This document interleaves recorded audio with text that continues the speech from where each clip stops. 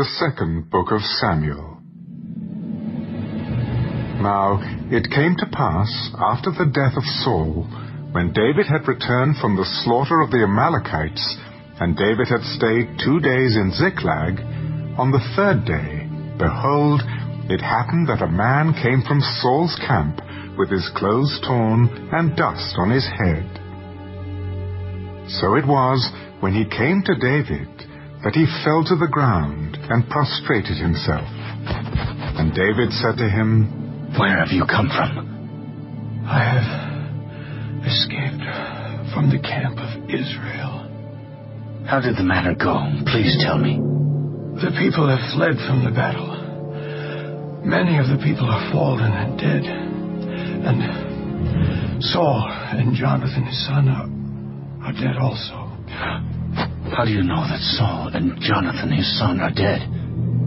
As I happened by chance to be on Mount Gilboa, there was Saul leaning on his spear. And indeed, the chariots and horsemen followed hard after him. Now, when he looked behind him, he saw me and called to me. And I answered, Here I am. And he said to me, Who are you? So I answered him, I am an Amalekite. He said to me again, Please stand over me and kill me, for anguish has come upon me, but my life still remains in me. So I stood over him and killed him, because I was sure that he could not live after he had fallen. And, and I took the crown that was on his head and the bracelet that was on his arm and have brought them here to my Lord. Therefore David took hold of his oh. own clothes and tore them, and so did all the men who were with him. And they mourned and wept and fasted until evening for Saul and for Jonathan his son, for the people of the Lord, and for the house of Israel, because they had fallen by the sword. Then David said to the young man who told him, Where are you from? I am the son of an alien, an Amalekite. How was it you were not afraid to put forth your hand to destroy the Lord's anointed? Then David called one of the young men, Go near and execute him. And he struck him, so that he died. So David said to him, Your blood is on your own head, for your own mouth has testified against you, saying, I have killed the Lord's anointed.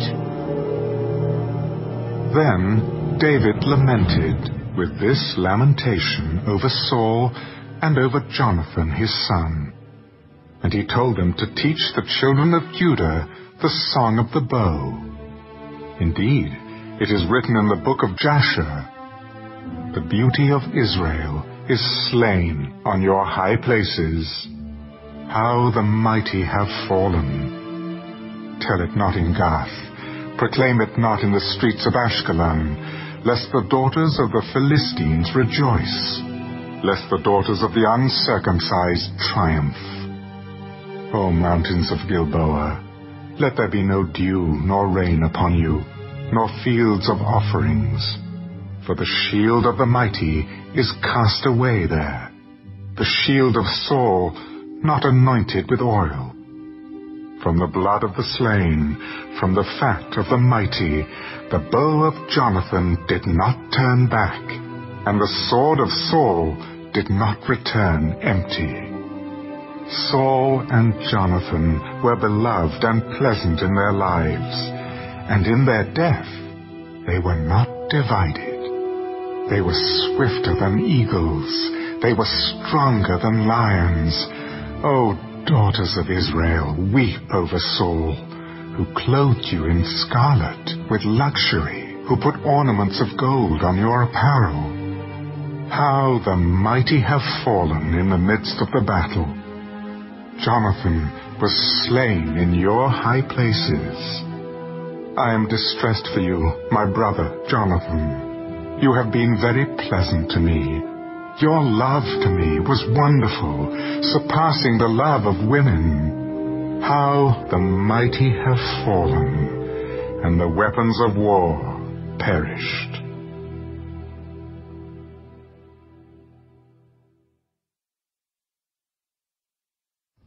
It happened after this that David inquired of the Lord, Shall I go up to any of the cities of Judah? Go up. Where shall I go up? To Hebron.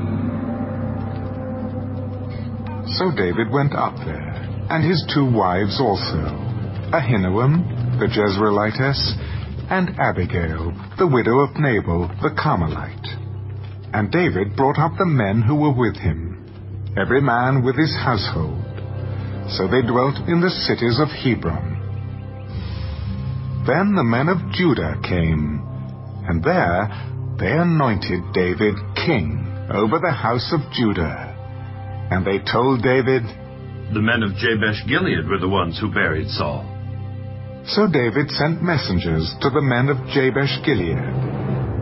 You are blessed of the Lord, for you have shown this kindness to your Lord to Saul and have buried him. And now may the Lord show kindness and truth to you. I also will repay you this kindness, because you have done this thing. Now, therefore, let your hands be strengthened, and be valiant, for your master Saul is dead, and also the house of Judah has anointed me king over them. But Abner, the son of Ner, commander of Saul's army, took Ishbosheth, the son of Saul, and brought him over to Mahanaim, and he made him king over Gilead, over the Ashurites, over Jezreel, over Ephraim, over Benjamin, and over all Israel. Ishbosheth, Saul's son, was forty years old when he began to reign over Israel, and he reigned two years. Only the house of Judah followed David. And the time that David was king in Hebron over the house of Judah was seven years and six months. Now Abner, the son of Ner, and the servants of Ishbosheth, the son of Saul, went out from Mahanaim to Gibeon. And Joab, the son of Zeruiah, and the servants of David went out and met them by the pool of Gibeon. So they sat down one on one side of the pool and the other on the other side of the pool. Then Abner said to Joab, Let the young men now arise and compete before us. Let them arise. So they arose and went over by number. Twelve from Benjamin, followers of Ishbosheth the son of Saul, and twelve from the servants of David and each one grasped his opponent by the head and thrust his sword in his opponent's side. So they fell down together. Therefore that place was called the Field of Sharp Swords, which is in Gibeon.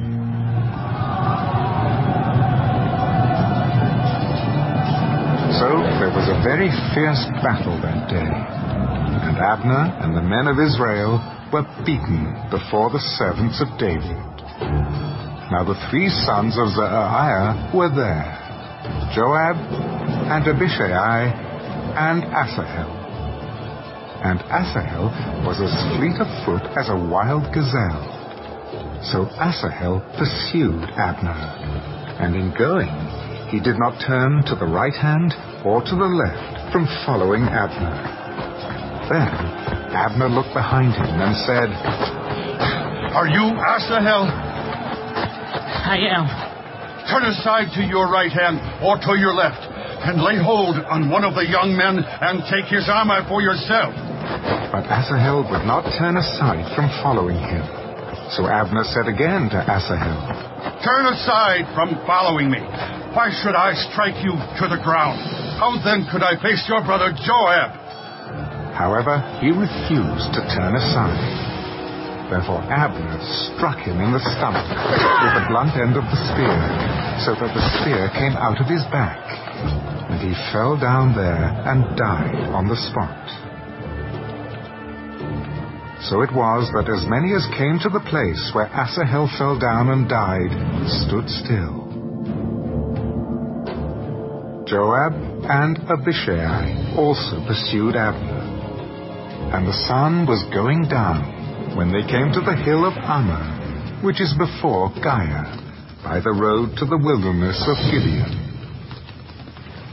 Now the children of Benjamin gathered together behind Abner and became a unit, and took their stand on top of a hill. Then Abner called to Joab, Shall the sword devour forever? Do you not know that it will be bitter in the latter end? How long will it be then until you tell the people to return from pursuing their brethren? As God lives, unless you had spoken, Surely then by morning all the people would have given up pursuing their brethren. So Joab blew a trumpet, and all the people stood still, and did not pursue Israel any more, nor did they fight any more. Then Abner and his men went on all that night through the plain, crossed over the Jordan, and went through all Bithron, and they came to Mahanaim. So Joab returned from pursuing Abner. And when he had gathered all the people together, there were missing of David's servants nineteen men, and Asahel. But the servants of David had struck down of Benjamin and Abner's men three hundred and sixty men who died. Then they took up Asahel and buried him in his father's tomb, which was in Bethlehem. And Joab and his men went all night and they came to Hebron at daybreak.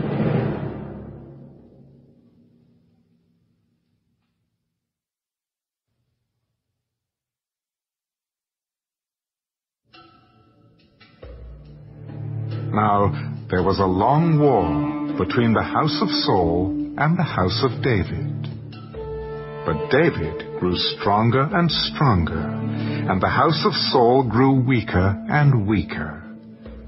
Sons were born to David in Hebron. His firstborn was Amnon by Ahinoam the Jezreelitess. His second, Chileab, by Abigail, the widow of Nabal, the Carmelite.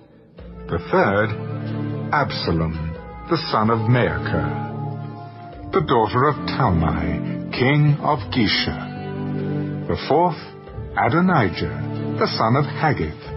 The fifth, Shephatiah, the son of Abital, and the sixth, Ithream, by David's wife Eglah. These were born to David in Hebron. Now it was so, while there was war between the house of Saul and the house of David, that Abner was strengthening his hold on the house of Saul. And Saul had a concubine whose name was Rizpah, the daughter of Aiah. So Ishbosheth said to Abner, Why have you gone in to my father's concubine? Then Abner became very angry at the words of Ishbosheth. Am I a dog's head that belongs to Judah? Today I show loyalty to the house of Saul, your father, to his brothers, and to his friends, and have not delivered you into the hand of David. And you charge me today with a fault concerning this woman? May God do so to Abner, and more also if I do not do for David as the Lord has sworn to him. To transfer the kingdom from the house of Saul and set up the throne of David over Israel and over Judah, from Dan to Beersheba. And he could not answer Abner another word, because he feared him. Then Abner sent messengers on his behalf to David. Whose is the lamb? Make your covenant with me, and indeed my hand shall be with you to bring all Israel to you. Good. I will make a covenant with you. But one thing I require of you. You shall not see my face unless you first bring Michal, Saul's daughter, when you come to see my face. So David sent messengers to Ishbosheth, Saul's son.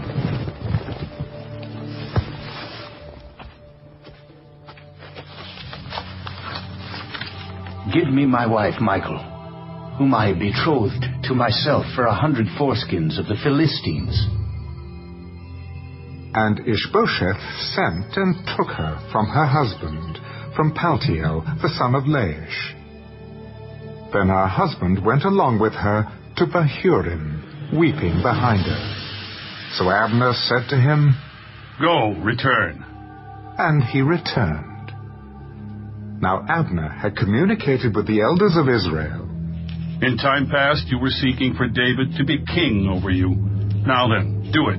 For the Lord has spoken of David, saying, By the hand of my servant David I will save my people Israel from the hand of the Philistines and the hand of all their enemies. And Abner also spoke in the hearing of Benjamin. Then Abner also went to speak in the hearing of David in Hebron all that seemed good to Israel and the whole house of Benjamin. So Abner and twenty men with him came to David at Hebron. And David made a feast for Abner and the men who were with him. Then Abner said to David, I will arise and go, and gather all Israel to my lord the king, that they may make a covenant with you, and that you may reign over all that your heart desires. So David sent Abner away, and he went in peace. At that moment the servants of David and Joab came from a raid, and brought much spoil with them. But Abner was not with David in Hebron, for he had sent him away, and he had gone in peace. When Joab and all the troops that were with him had come, they told Joab, Abner, the son of Ner, came to the king, and he sent him away, and he has gone in peace. Then Joab came to the king. What have you done? Look, Abner came to you. Why is it that you sent him away and he has already gone? Surely you realize that Abner, the son of Ner, came to deceive you, to know you're going out and you're coming in, and to know all that you are doing. And when Joab had gone from David's presence, he sent messengers after Abner, who brought him back from the well of Sirah. But David did not know it. Now, when Abner had returned to Hebron, Joab took him aside in the gate to speak with him privately, and there stabbed him in the stomach, so that he died for the blood of Asahel his brother. Afterward, when David heard it, he said, My kingdom and I are guiltless before the Lord forever of the blood of Abner, the son of Ner. Let it rest on the head of Joab and on all his father's house. And let there never fail to be in the house of Joab one who has a discharge or is a leper, who leans on a staff or falls by the sword, or who lacks bread. So Joab and Abishai his brother killed Abner, because he had killed their brother Asahel at Gibeon in the battle. Then David said to Joab and to all the people who were with him, Tear your clothes, gird yourselves with sackcloth, and mourn for Abner. And King David followed the coffin. So they buried Abner in Hebron. And the king lifted up his voice and wept at the grave of Abner. And all the people wept. And the king sang a lament over Abner.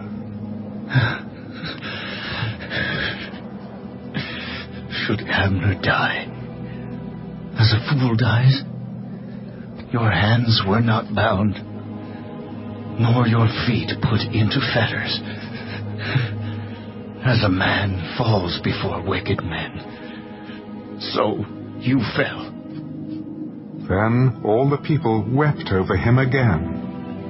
And when all the people came to persuade David to eat food while it was still day, David took an oath. God, do so to me, and more also. If I taste bread or anything else till the sun goes down.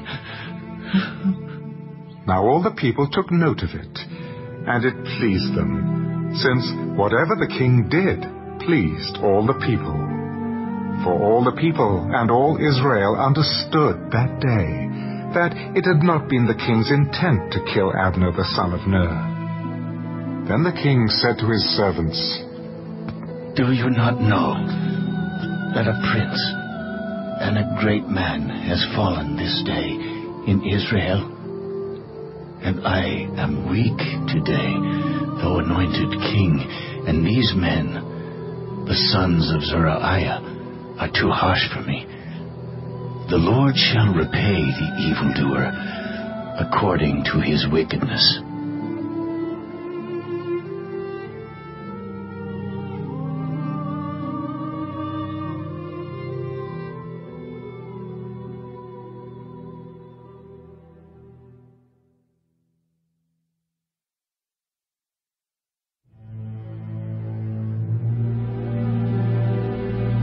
Saul's son heard that Abner had died in Hebron, he lost heart, and all Israel was troubled. Now Saul's son had two men who were captains of troops. The name of one was Baanah, and the name of the other Rechab, the sons of Rimmon the Beerothite, of the children of Benjamin. For Beeroth was also part of Benjamin, because the Beerothites fled to Gittaim and have been sojourners there until this day. Jonathan, Saul's son, had a son who was lame in his feet. He was five years old when the news about Saul and Jonathan came from Jezreel. And his nurse took him up and fled. And it happened, as she made haste to flee, that he fell and became lame. His name was Mephibosheth. Then the sons of Rimmon, the Beerothite, Rechab and Baanah set out and came at about the heat of the day to the house of Ishbosheth, who was lying on his bed at noon. And they came there all the way into the house as though to get wheat, and they stabbed him in the stomach. Then Rechab and Baanah his brother escaped. For when they came into the house, he was lying on his bed in his bedroom. Then they struck him and killed him, beheaded him, and took his head, and were all night escaping through the plain.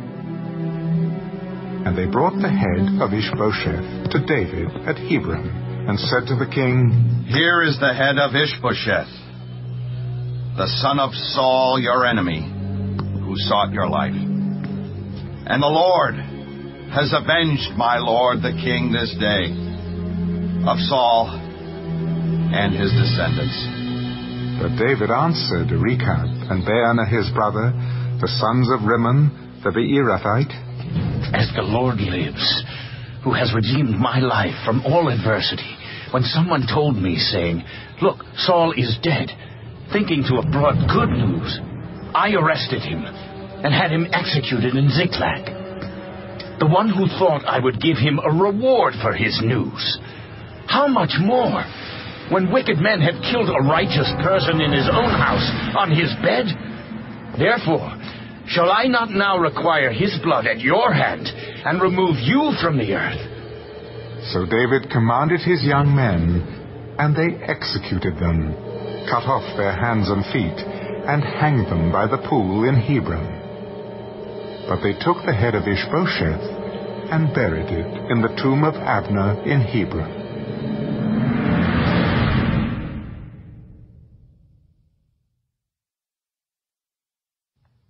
Then all the tribes of Israel came to David at Hebron and spoke.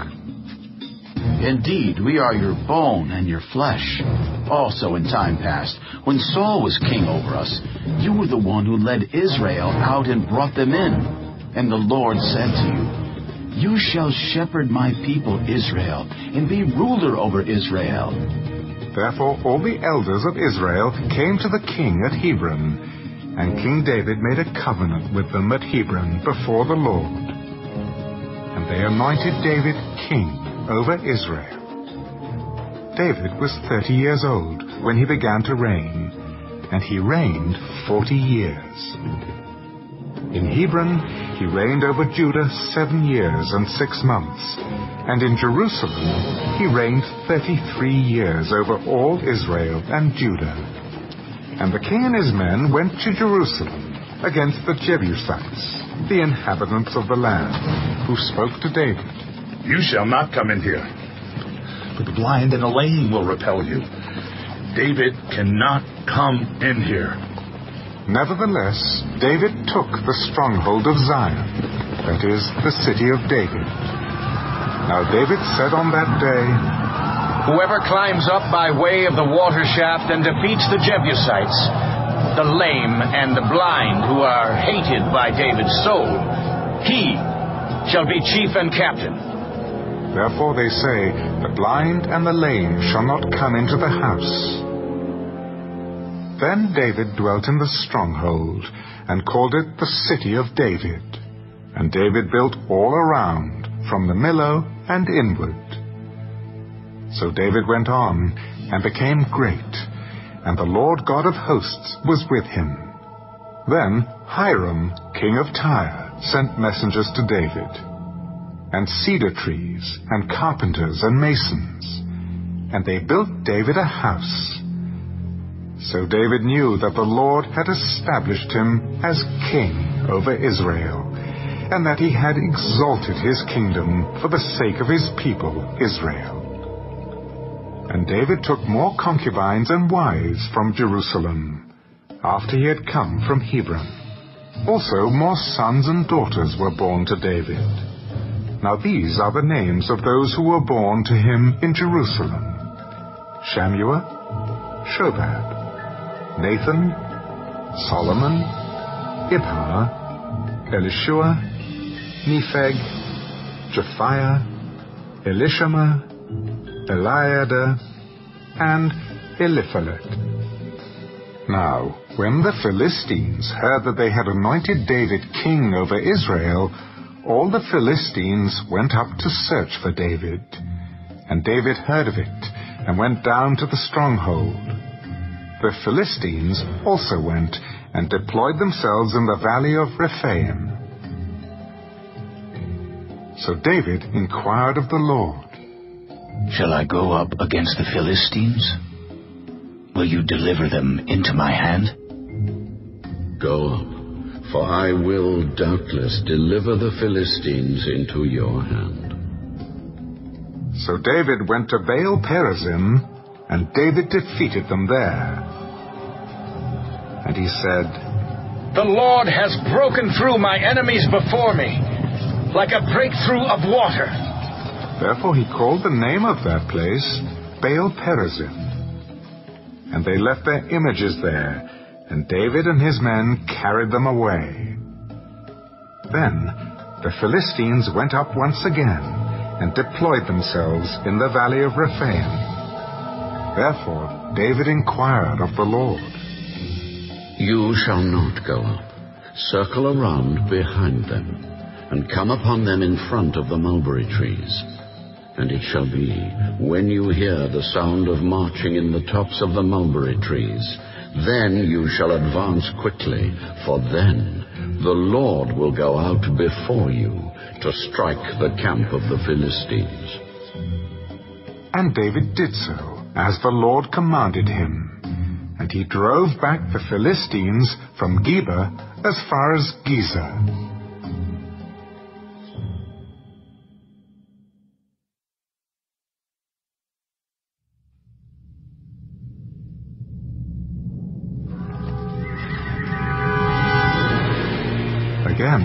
David gathered all the choice men of Israel, thirty thousand. And David arose and went with all the people who were with him from Baale Judah to bring up from there the ark of God, whose name is called by the name the Lord of hosts, who dwells between the cherubim. So they set the ark of God on a new cart, and brought it out of the house of Abinadab, which was on the hill. And Uzzah and Ahio, the sons of Abinadab, drove the new cart. And they brought it out of the house of Abinadab, which was on the hill, accompanying the ark of God. And Ahio went before the ark. Then David and all the house of Israel played music before the Lord on all kinds of instruments of fir wood, on harps, on stringed instruments, on tambourines, on sistrums, and on cymbals. And when they came to Nachon's threshing floor, Uzzah put out his hand to the ark of God, and took hold of it, for the oxen stumbled. Then the anger of the Lord was aroused against Uzzah, and God struck him there for his error. And he died by the ark of God. And David became angry because of the Lord's outbreak against Uzzah. And he called the name of the place Perez Uzzah to this day. David was afraid of the Lord that day. How can the ark of the Lord come to me? So David would not move the ark of the Lord with him into the city of David. But David took it aside into the house of Obed Edom, the Gittite. The ark of the Lord remained in the house of Obed Edom the Gittite three months. And the Lord blessed Obed Edom and all his household. Now it was told King David, The Lord has blessed the house of Obed Edom and all that belongs to him, because of the ark of God. So David went and brought up the ark of God from the house of Obed Edom to the city of David with gladness. And so it was, when those bearing the ark of the Lord had gone six paces, that he sacrificed oxen and fatted sheep. Then David danced before the Lord with all his might, and David was wearing a linen ephod.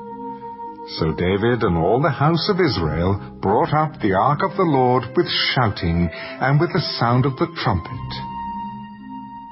Now as the ark of the Lord came into the city of David, Michal, Saul's daughter, looked through a window and saw King David leaping and whirling before the Lord, and she despised him in her heart.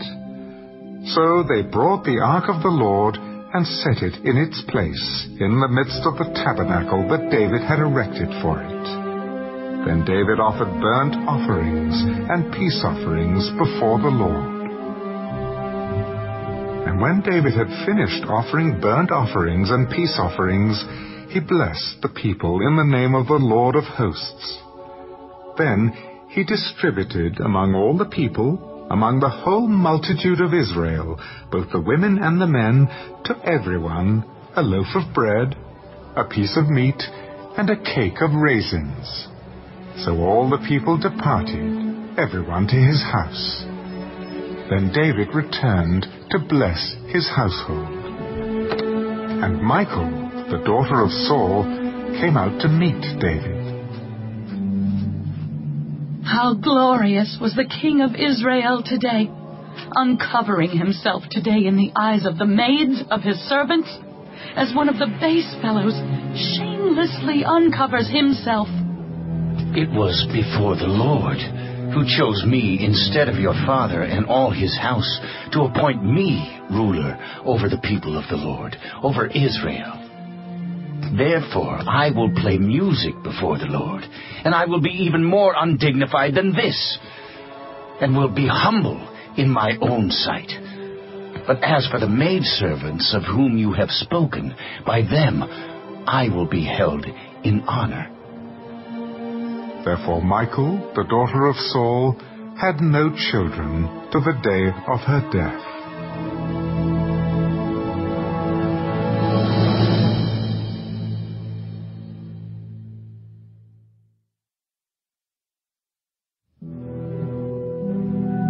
Came to pass, when the king was dwelling in his house, and the Lord had given him rest from all his enemies all around, that the king said to Nathan the prophet, See now, I dwell in a house of cedar, but the ark of God dwells inside tent curtains. Go, do all that is in your heart, for the Lord is with you. But it happened that night that the word of the Lord came to Nathan. Go and tell my servant David, Thus says the Lord, Would you build a house for me to dwell in? For I have not dwelt in a house since the time that I brought the children of Israel up from Egypt, even to this day, but have moved about in a tent and in a tabernacle. Wherever I have moved about with all the children of Israel, have I ever spoken a word to anyone from the tribes of Israel, whom I commanded to shepherd my people Israel, saying, Why have you not built me a house of cedar? Now therefore, thus you shall say to my servant David, Thus says the Lord of hosts, I took you from the sheepfold, from following the sheep, to be ruler over my people, over Israel. And I have been with you wherever you have gone, and have cut off all your enemies from before you, and have made you a great name, like the name of the great men who are on the earth. Moreover, I will appoint a place for my people Israel, and will plant them that they may dwell in a place of their own, and move no more. Nor shall the sons of wickedness oppress them any more, as previously, since the time that I commanded judges to be over my people Israel, and have caused you to rest from all your enemies. Also, the Lord tells you that He will make you a house when your days are fulfilled, and you rest with your fathers, I will set up your seed after you, who will come from your body, and I will establish his kingdom. He shall build a house for my name, and I will establish the throne of his kingdom forever. I will be his father and he shall be my son. If he commits iniquity, I will chasten him with the rod of men and with the blows of the sons of men. But my mercy shall not depart from him, as I took it from Saul, whom I removed from before you. And your house and your kingdom shall be established forever before you your throne shall be established forever. According to all these words, and according to all this vision, so Nathan spoke to David. Then King David went in and sat before the Lord. Who am I, O Lord God, and what is my house, that you have brought me this far? And yet, this was a small thing in your sight, O Lord God. And you have also spoken of your servant's house for a great while to come. Is this the manner of man, O Lord God? Now what more can David say to you? For you, Lord God, know your servant. For your word's sake, and according to your own heart, you have done all these great things to make your servant know them. Therefore, you are great, O Lord God. For there is none like you, nor is there any God besides you, according to all that we have heard with our ears.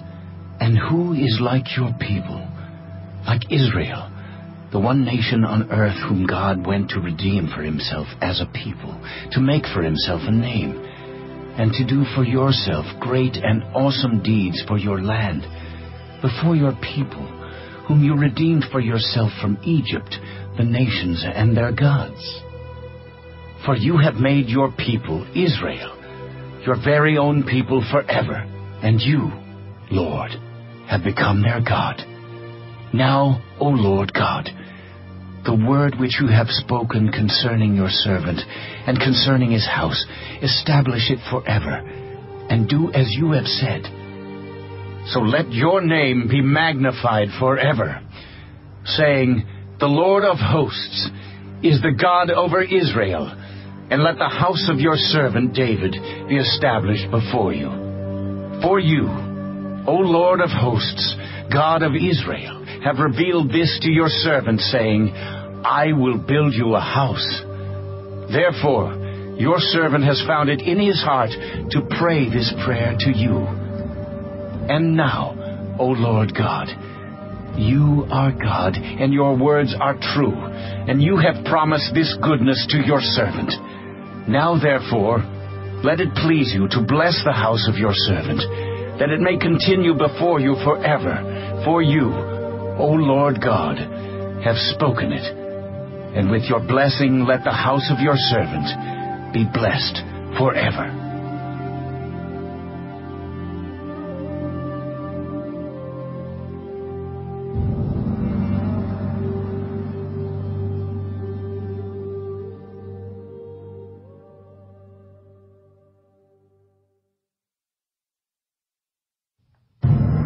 After this, it came to pass that David attacked the Philistines and subdued them.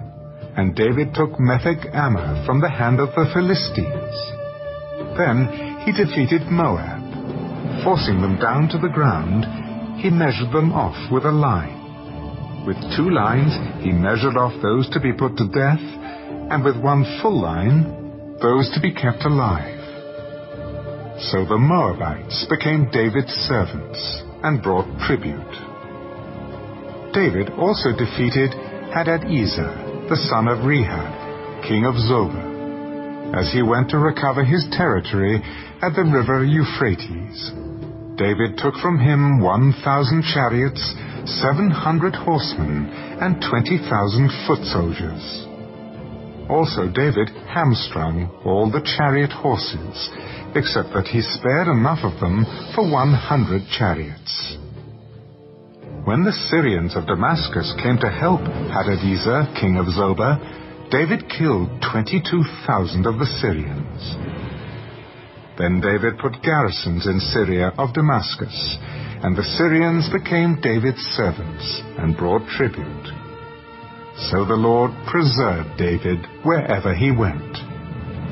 And David took the shields of gold that had belonged to the servants of Hadadezer and brought them to Jerusalem.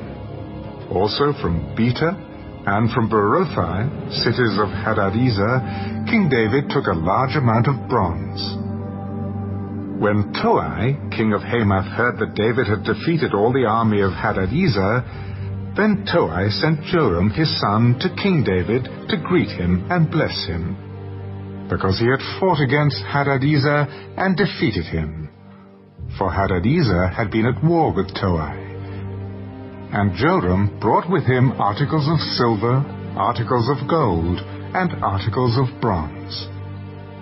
King David also dedicated these to the Lord, along with the silver and gold that he had dedicated from all the nations which he had subdued, from Syria, from Moab, from the people of Ammon, from the Philistines, from Amalek, and from the spoil of Hadadezer, the son of Rehob, king of Zobah. And David made himself a name when he returned from killing 18,000 Syrians in the valley of Salt. He also put garrisons in Edom. Throughout all Edom he put garrisons, and all the Edomites became David's servants. And the Lord preserved David wherever he went. So David reigned over all Israel, and David administered judgment and justice to all his people. Joab, the son of Zeruiah, was over the army. Jehoshaphat, the son of Ahilud, was recorder. Zadok, the son of Ahitub, and Ahimelech, the son of Abiathar, were the priests. Seraiah was the scribe. Benaiah, the son of Jehoiada, was over both the Kerethites and the Pelethites. And David's sons were chief ministers.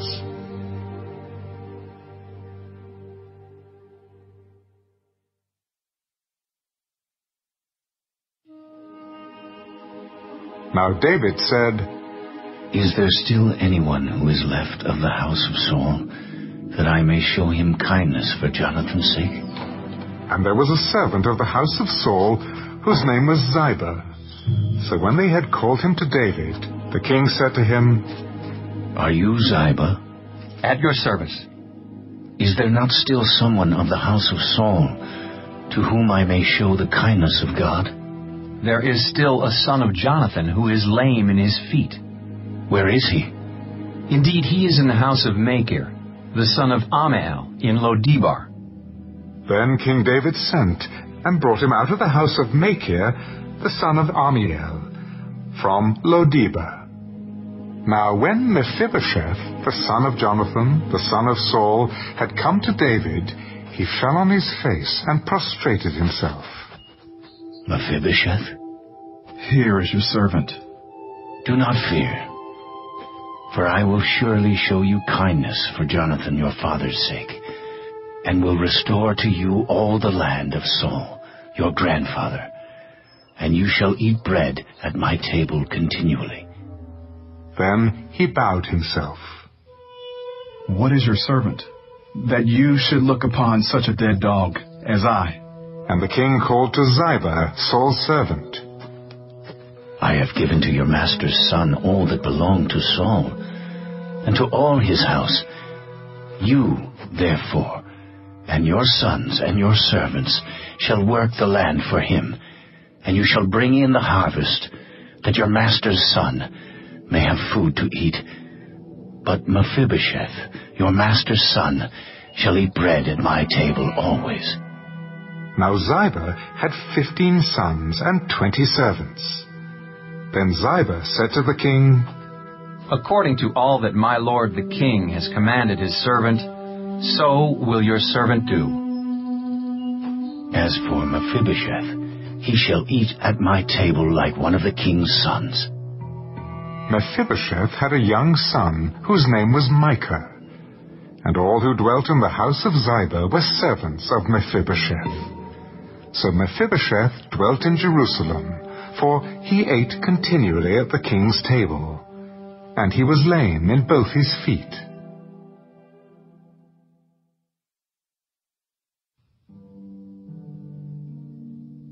It happened after this that the king of the people of Ammon died, and Hanun his son reigned in his place. Then David said, I will show kindness to Hanun, the son of Nahash, as his father showed kindness to me. So David sent by the hand of his servants to comfort him concerning his father. And David's servants came into the land of the people of Ammon. And the princes of the people of Ammon said to Hanun their lord, Do you think that David really honors your father because he has sent comforters to you? Has David not rather sent his servants to you to search the city, to spy it out, and to overthrow it? Therefore Hanun took David's servants, shaved off half their beards, cut off their garments in the middle, at their buttocks, and sent them away. When they told David, he sent to meet them, because the men were greatly ashamed. And the king said, Wait at Jericho until your beards have grown, and then return. When the people of Ammon saw that they had made themselves repulsive to David, the people of Ammon sent and hired the Syrians of Beth Rehob and the Syrians of Zobah, twenty thousand foot soldiers, and from the king of Maacah one thousand men, and from twelve thousand men. Now when David heard of it, he sent Joab and all the army of the mighty men then the people of Ammon came out and put themselves in battle array at the entrance of the gate. And the Syrians of Zobah, Beth Rehob, Ishtob, and Maacah were by themselves in the field. When Joab saw that the battle line was against him before and behind, he chose some of Israel's best and put them in battle array against the Syrians. And the rest of the people he put under the command of Abishai, his brother, that he might set them in battle array against the people of Ammon.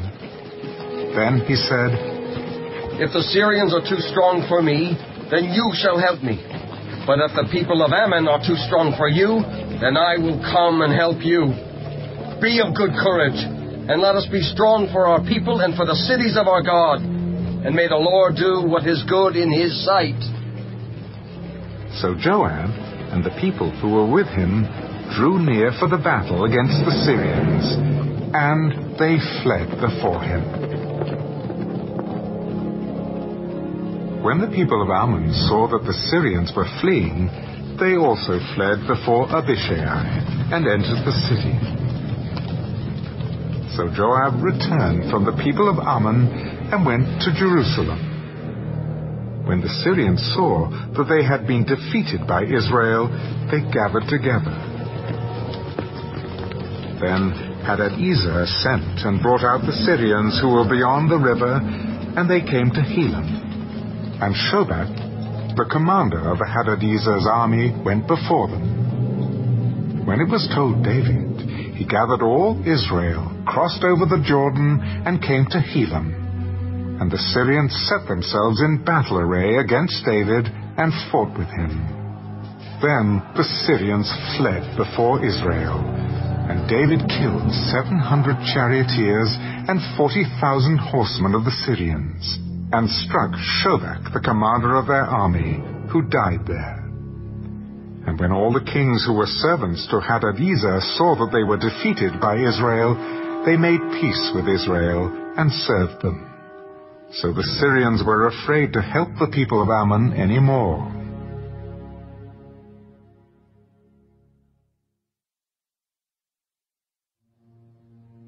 It happened in the spring of the year, at the time when kings go out to battle, that David sent Joab and his servants with him and all Israel, and they destroyed the people of Ammon and besieged Rabbah. But David remained at Jerusalem.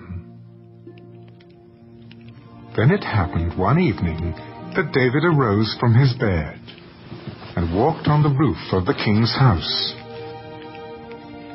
And from the roof he saw a woman bathing.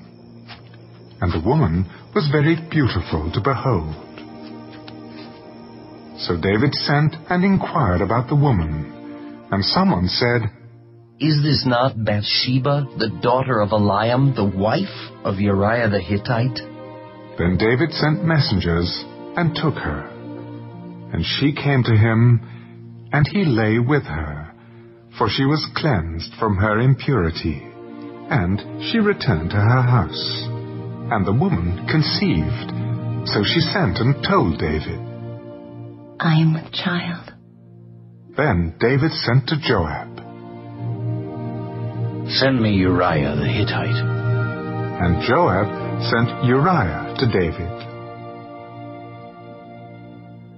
When Uriah had come to him, David asked how Joab was doing, and how the people were doing, and how the war prospered. And David said to Uriah, Go down to your house and wash your feet. So Uriah departed from the king's house, and a gift of food from the king followed him. But Uriah slept at the door of the king's house with all the servants of his lord, and did not go down to his house.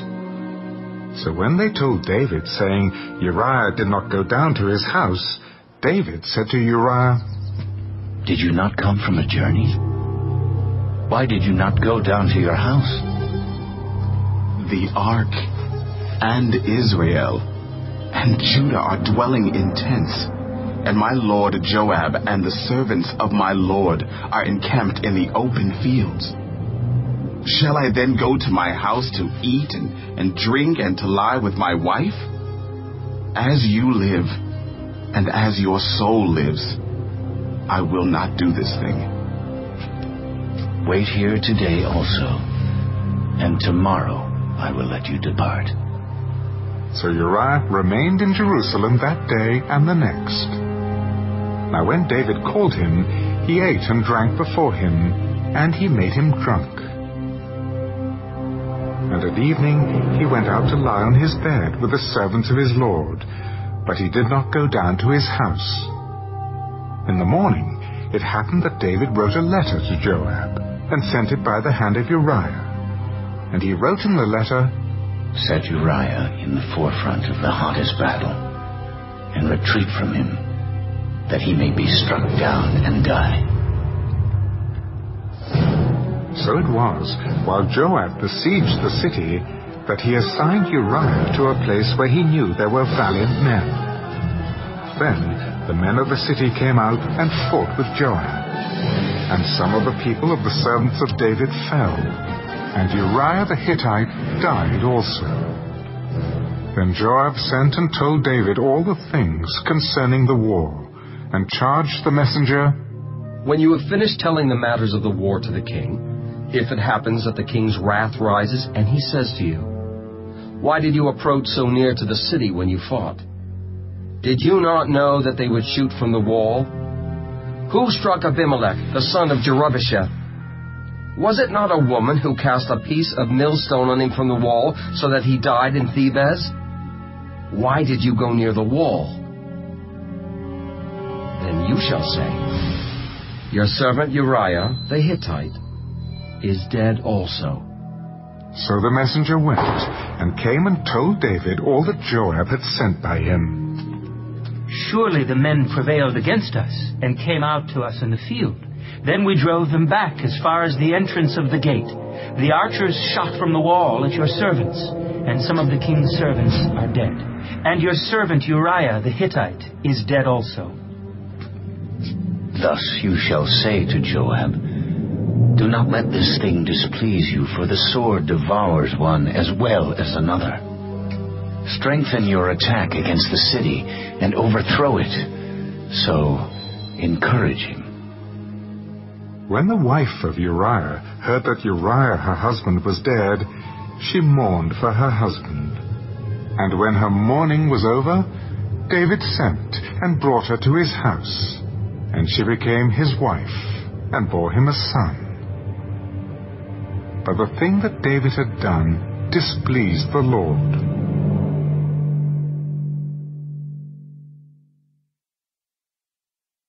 Then the Lord sent Nathan to David.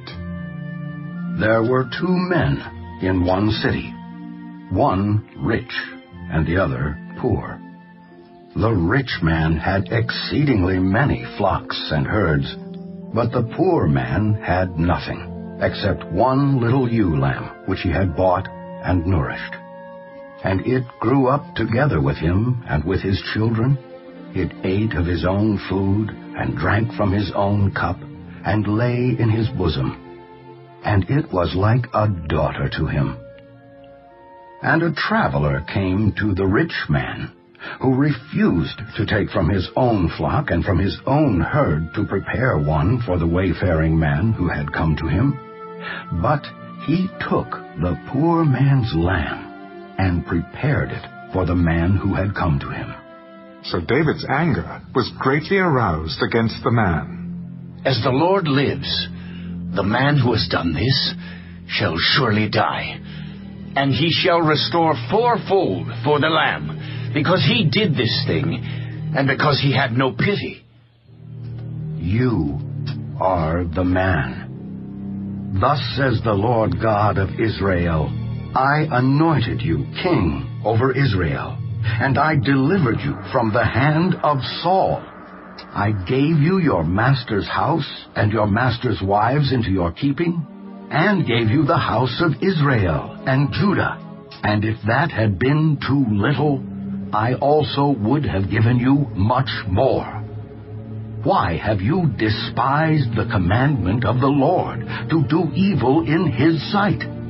You have killed Uriah the Hittite with the sword you have taken his wife to be your wife, and have killed him with the sword of the people of Ammon.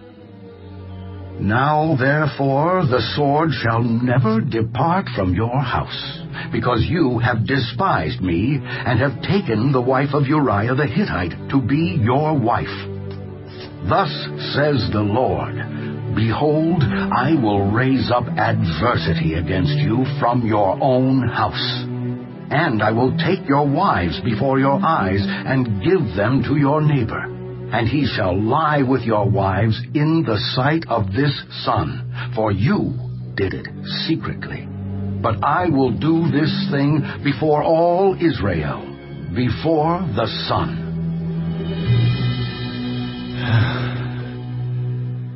I have sinned against the Lord. The Lord also has put away your sin. You shall not die. However, because by this deed you have given great occasion to the enemies of the Lord to blaspheme, the child also who was born to you shall surely die. Then Nathan departed to his house. And the Lord struck the child that Uriah's wife bore to David, and it became ill. David therefore pleaded with God for the child, and David fasted and went in and lay all night on the ground. So the elders of his house arose and went to him to raise him up from the ground. But he would not, nor did he eat food with them. Then on the seventh day it came to pass that the child died. And the servants of David were afraid to tell him that the child was dead. Indeed, while the child was alive, we spoke to him, and he would not heed our voice. How can we tell him that the child is dead? He may do some harm. When David saw that his servants were whispering, David perceived that the child was dead. Therefore David said to his servants, Is the child dead? He is dead.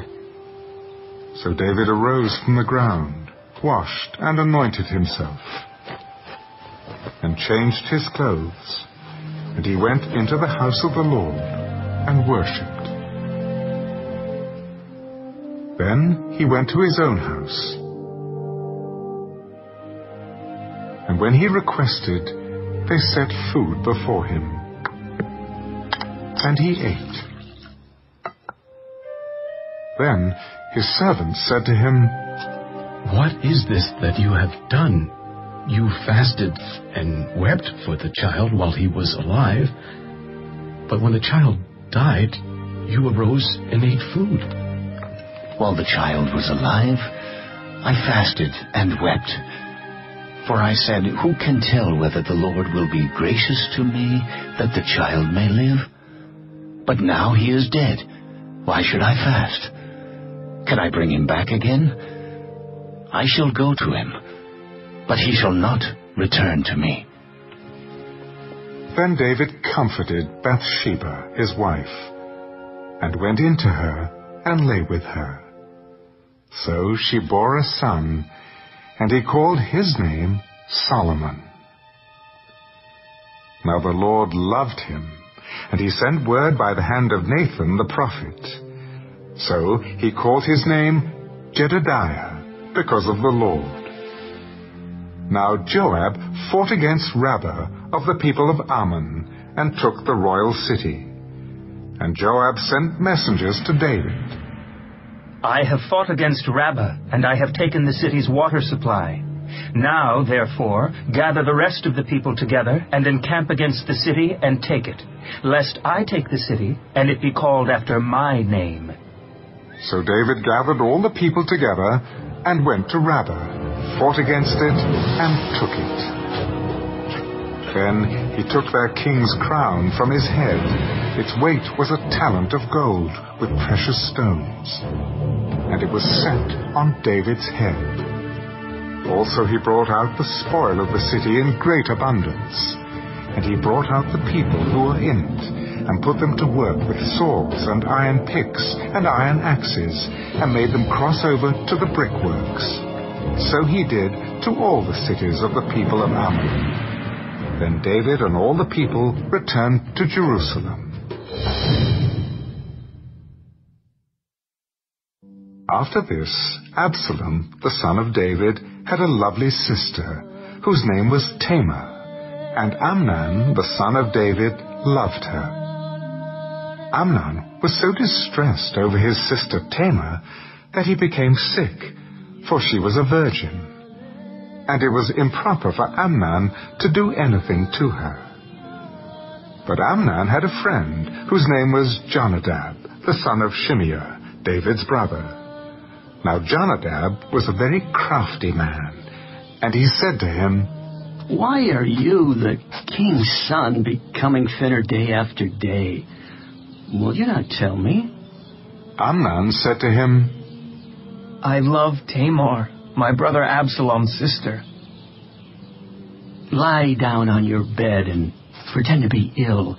And when your father comes to see you, say to him, Please let my sister Tamar come and give me food, and prepare the food in my sight, that I may see it and eat it from her hand.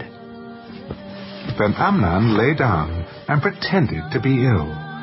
And when the king came to see him, Amnon said to the king, Please, let Tamar, my sister, come and make a couple of cakes for me in my sight, that I may eat from her hand. And David sent home to Tamar. Now go to your brother Amnon's house and prepare food for him. So Tamar went to her brother Amnon's house, and he was lying down. Then she took flour and kneaded it, made cakes in his sight, and baked the cakes. And she took the pan and placed them out before him. But he refused to eat. Have everyone go out from me. And they all went out from him. Then Amnon said to Tamar, Bring the food into the bedroom, that I may eat from your hand. And Tamar took the cakes which she had made and brought them to Amnon her brother in the bedroom. Now, when she had brought them to him to eat, he took hold of her. Come, lie with me, my sister. No, my brother.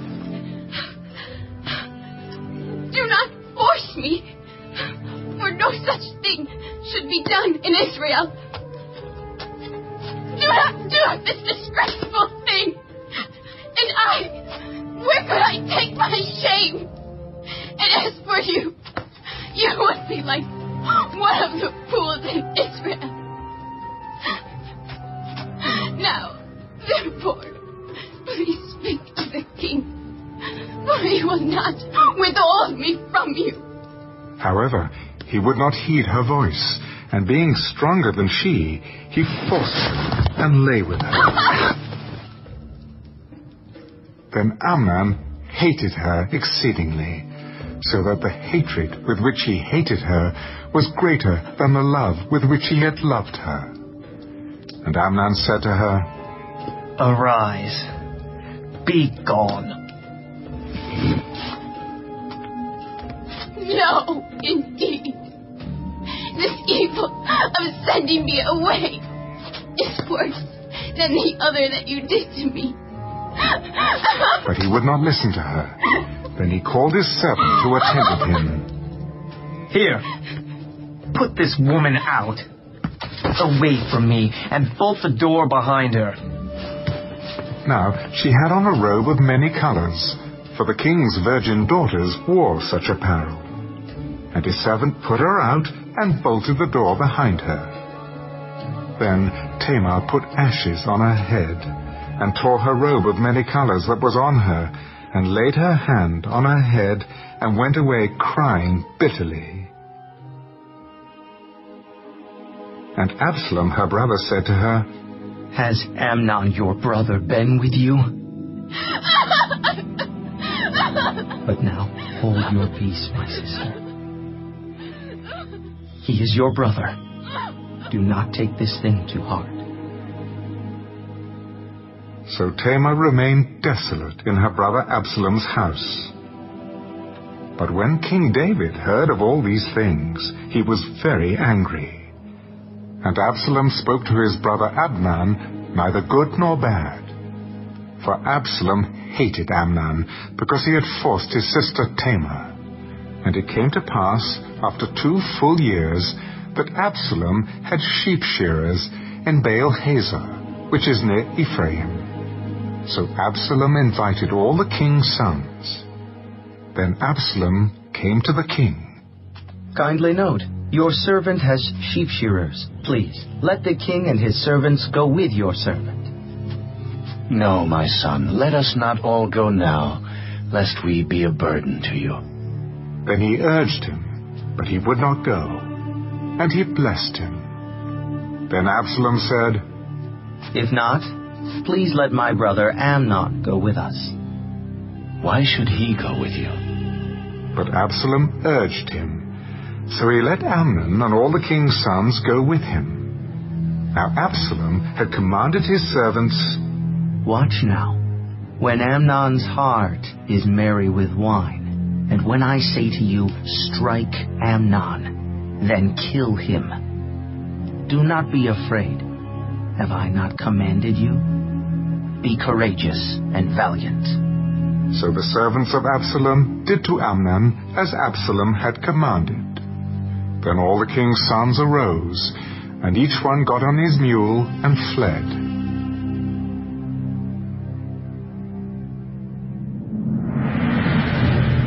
It came to pass, while they were on their way, that news came to David. Absalom has killed all the king's sons, and not one of them is left. So the king arose and tore his garments and lay on the ground, and all his servants stood by with their clothes torn. Then Jonadab, the son of Shimeah, David's brother, answered, Let not my lord suppose they have killed all the young men, the king's sons, for only Amnon is dead. For by the command of Absalom this has been determined from the day that he forced his sister Tamar.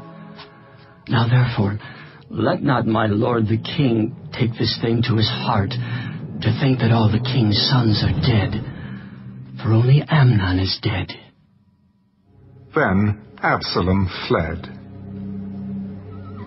And the young man who was keeping watch lifted his eyes and looked, and there many people were coming from the road on the hillside behind him. And Jonadab said to the king, Look! The king's sons are coming. As your servant said, so it is. So it was, as soon as he had finished speaking, that the king's sons indeed came, and they lifted up their voice and wept. Also the king and all his servants wept very bitterly. But Absalom fled and went to Talmai, the son of Ammihud, king of Geshur. And David mourned for his son every day. So Absalom fled and went to Geshur, and was there three years. And King David longed to go to Absalom, for he had been comforted concerning Amnon, because he was dead.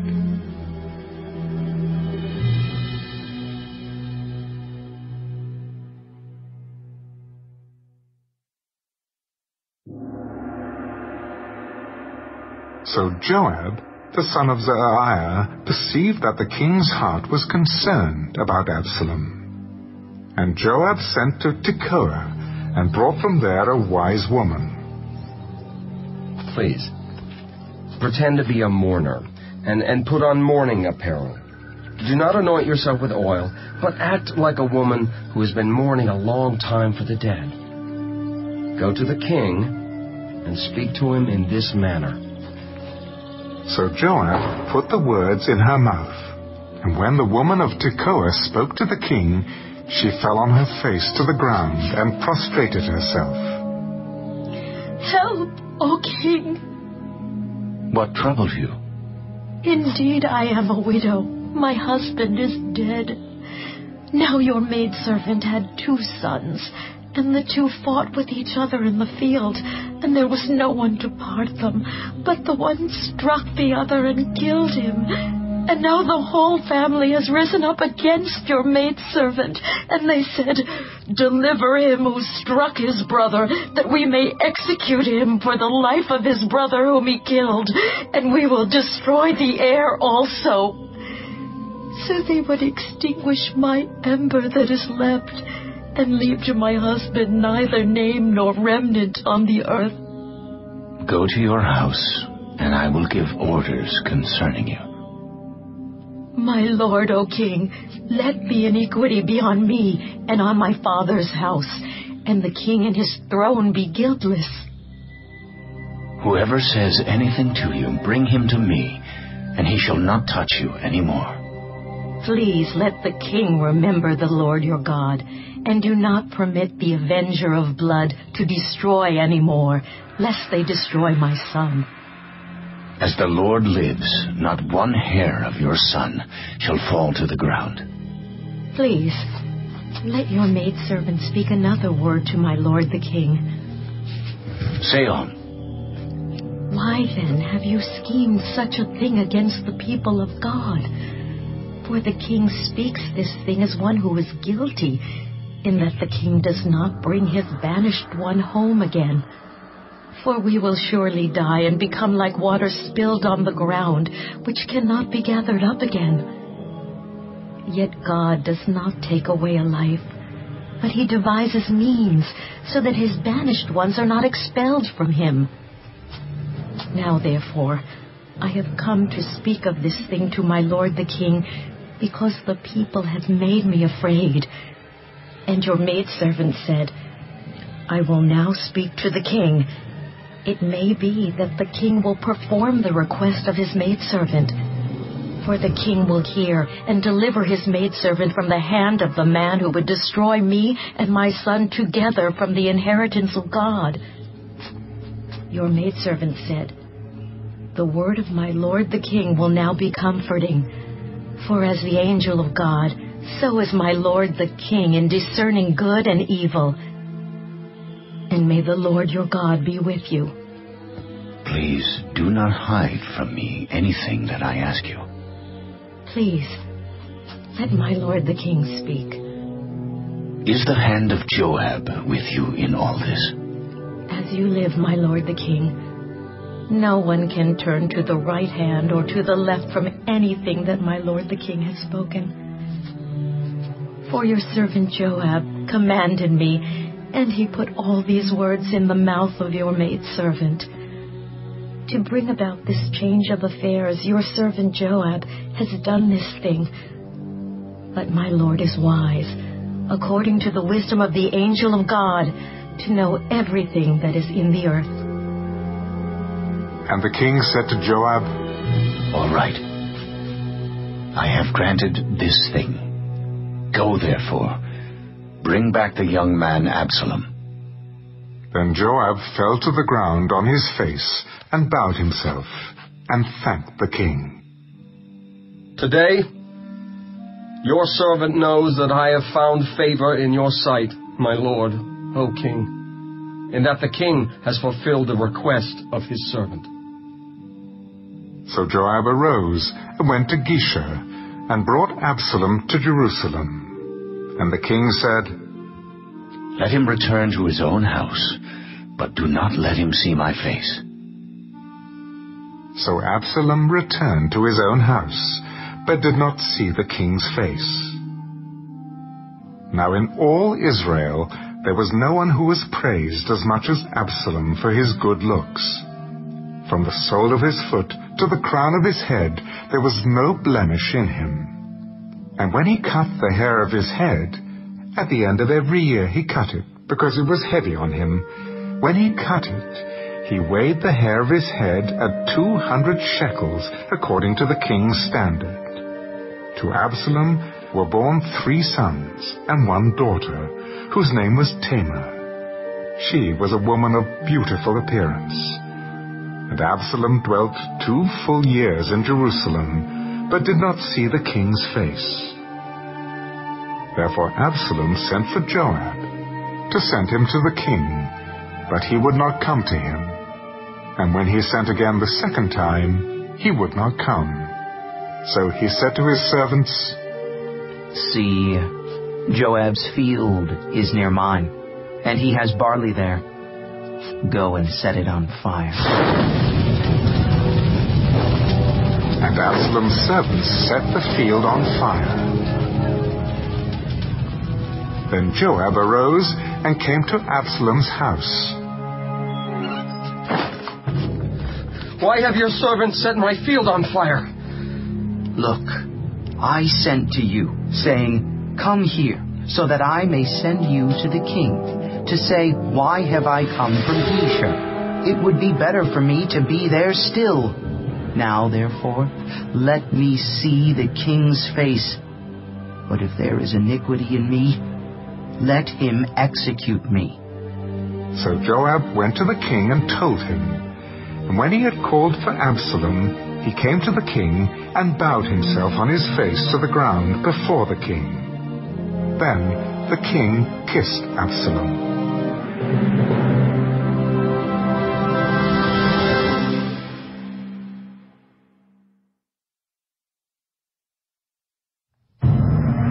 After this, it happened that Absalom provided himself with chariots and horses, and fifty men to run before him.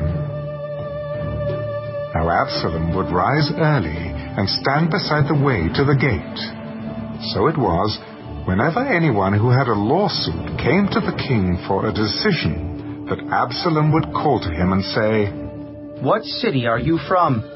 And he would say, Your servant is from such and such a tribe of Israel. Then Absalom would say to him, Look, your case is good and right, but there is no deputy of the king to hear you.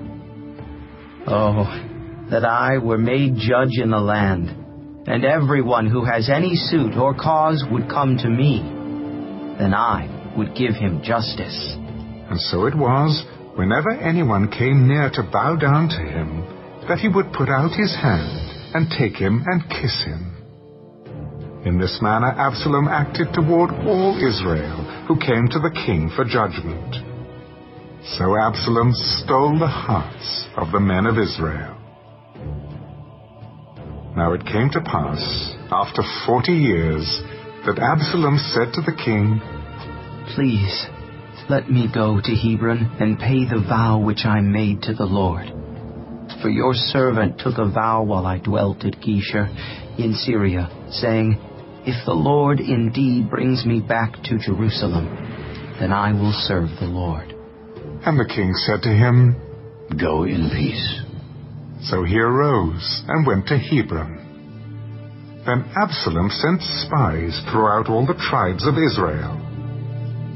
As soon as you hear the sound of the trumpet, then you shall say, Absalom reigns in Hebron. And with Absalom went two hundred men, invited from Jerusalem. And they went along innocently, and did not know anything. Then Absalom sent for Ahithophel the Gilonite, David's counselor from his city, from Gilo, while he offered sacrifices.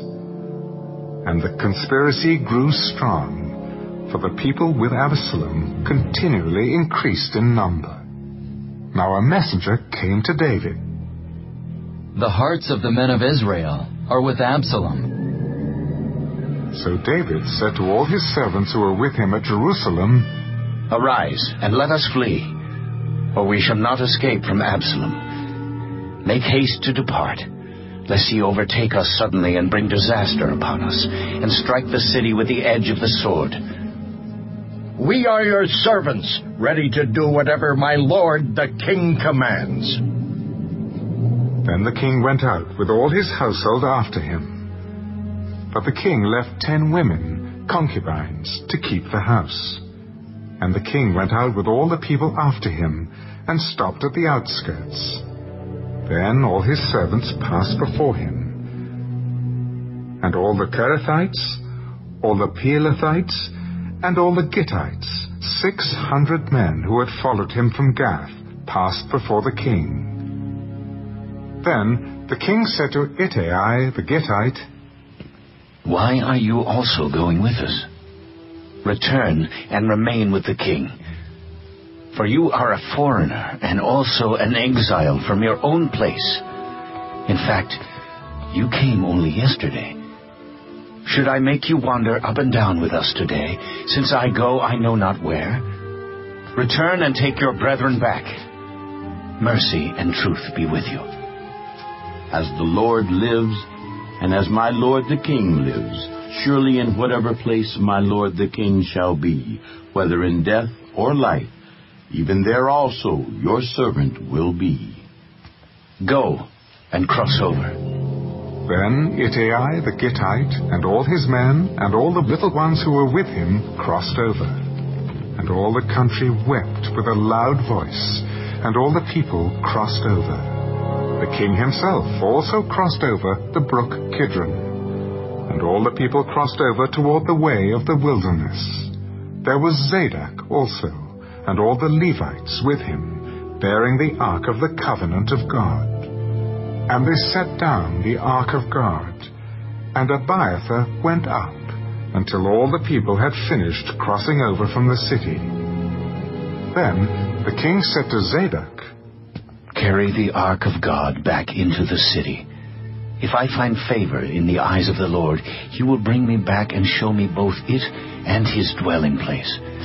But if he says thus, I have no delight in you, here I am. Let him do to me as seems good to him. Are you not a seer? Return to the city in peace, and your two sons with you, Ahimaaz your son, and Jonathan the son of Abiathar. See, I will wait in the plains of the wilderness until word comes from you to inform me. Therefore Zadok and Abiathar carried the ark of God back to Jerusalem, and they remained there. So David went up by the ascent of the Mount of Olives, and wept as he went up. And he had his head covered, and went barefoot. And all the people who were with him covered their heads, and went up, weeping as they went up. Then someone told David, Ahithophel is among the conspirators with Absalom. O Lord, I pray, turn the counsel of Ahithophel into foolishness. Now it happened, when David had come to the top of the mountain where he worshipped God, there was Hushai the Archite coming to meet him with his robe torn and dust on his head. David said to him, if you go on with me, then you will become a burden to me. But if you return to the city and say to Absalom, I will be your servant, O king, as I was your father's servant previously, so I will now be your servant. Then you may defeat the counsel of Ahithophel for me. And do you not have Zadok and Abiathar the priests with you there?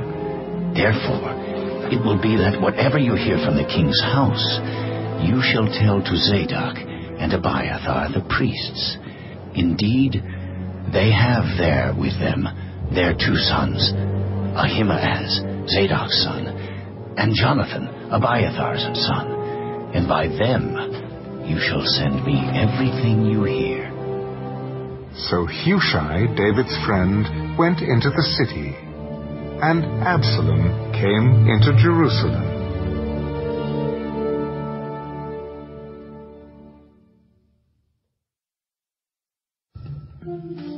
When David was a little past the top of the mountain, there was Ziba, the servant of Mephibosheth, who met him with a couple of saddled donkeys, and on them two hundred loaves of bread, one hundred clusters of raisins, one hundred summer fruits, and a skin of wine.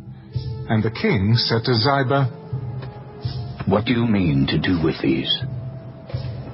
The donkeys are for the king's household to ride on, the bread and summer fruit for the young men to eat, and the wine for those who are faint in the wilderness to drink. And where is your master's son? Indeed, he is staying in Jerusalem, for he said, Today the house of Israel will restore the kingdom of my father to me. Here, all that belongs to Mephibosheth is yours. I humbly bow before you, that I may find favor in your sight, my lord, O king. Now when King David came to Bahurim, there was a man from the family of the house of Saul, whose name was Shimei, the son of Gera, coming from there. He came out, cursing continuously as he came. And he threw stones at David, and at all the servants of King David. And all the people and all the mighty men were on his right hand and on his left. Also Shimei said thus when he cursed. Come out! Come out, you bloodthirsty man, you rogue! The Lord has brought upon you all the blood of the house of Saul, in whose place you have reigned. And the Lord has delivered the kingdom into the hand of Absalom, your son. So now you are caught in your own evil, because you are a bloodthirsty man. Then Abishai, the son of Zeruiah, said to the king, why should this dead dog curse my lord the king? Please, Let me go over and take off his head. What have I to do with you, you sons of Zeruiah? So let him curse, because the Lord has said to him, Curse David. Who then shall say, Why have you done so? See how my son, who came from my own body, seeks my life. How much more now may this Benjamite? Let him alone, and let him curse, for so the Lord has ordered him. It may be that the Lord will look on my affliction, and that the Lord will repay me with good for his cursing this day.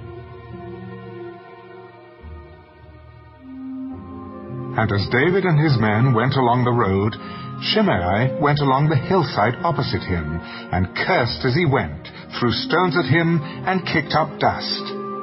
Now the king and all the people who were with him became weary, so they refreshed themselves there.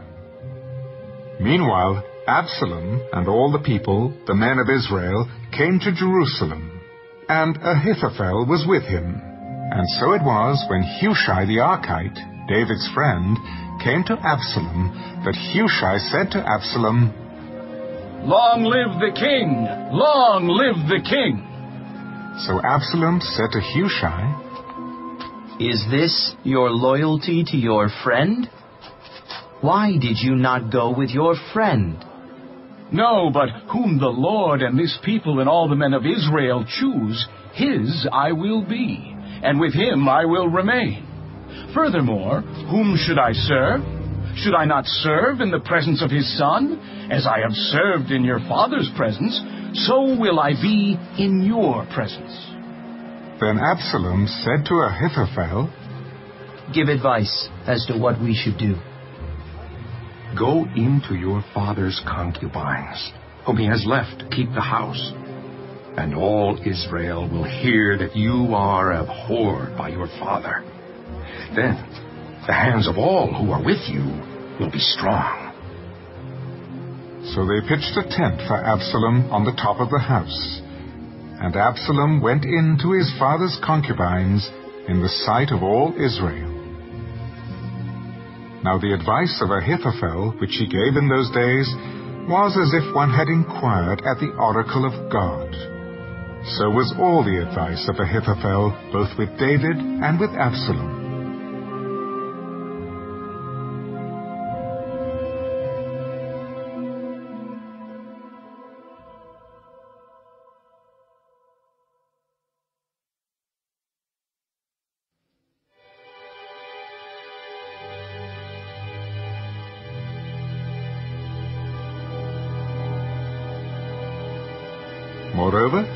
Ahithophel said to Absalom, Now, let me choose twelve thousand men, and I will arise and pursue David tonight.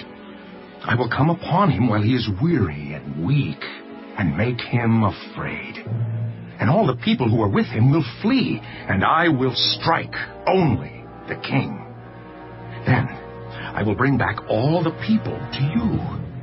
When all return except the man whom you seek, all the people will be at peace. And the saying pleased Absalom and all the elders of Israel. Then Absalom said, Now call Hushai the Archite also, and let us hear what he says too. And when Hushai came to Absalom, Absalom spoke to him. Ahithophel has spoken in this manner. Shall we do as he says? If not, speak up. The advice that Ahithophel has given is not good at this time. For you know your father and his men, that they are mighty men, and they are enraged in their minds like a bear robbed of her cubs in the field. And your father is a man of war, and will not camp with the people. Surely by now he is hidden in some pit or in some other place. And it will be, when some of them are overthrown at the first, that whoever hears it will say, There is a slaughter among the people who follow Absalom. And even he who is valiant, whose heart is like the heart of a lion, will melt completely. For all Israel knows that your father is a mighty man, and those who are with him are valiant men. Therefore, I advise that all Israel be fully gathered to you, from Dan to Beersheba, like the sand that is by the sea for multitude, and that you go to battle in person. So we will come upon him in some place where he may be found, and we will fall on him as the dew falls on the ground. And of him and all the men who are with him, there shall not be left so much as one. Moreover, if he is withdrawn into a city, then all Israel shall bring ropes to that city, and we will pull it into the river until there is not one small stone found there. So Absalom and all the men of Israel said, The advice of Hushai the Archite is better than the advice of Ahithophel. For the Lord had purpose to defeat the good advice of Ahithophel to the intent that the Lord might bring disaster on Absalom. Then Hushai said to Zadok and Abiathar the priests, Thus and so Ahithophel advised Absalom and the elders of Israel, and thus and so I have advised.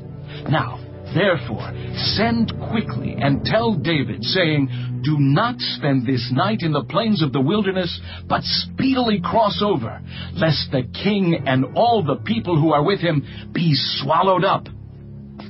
Now Jonathan and Ahimaaz stayed at En Rogel, for they dared not be seen coming into the city. So a female servant would come and tell them, and they would go and tell King David. Nevertheless, a lad saw them and told Absalom.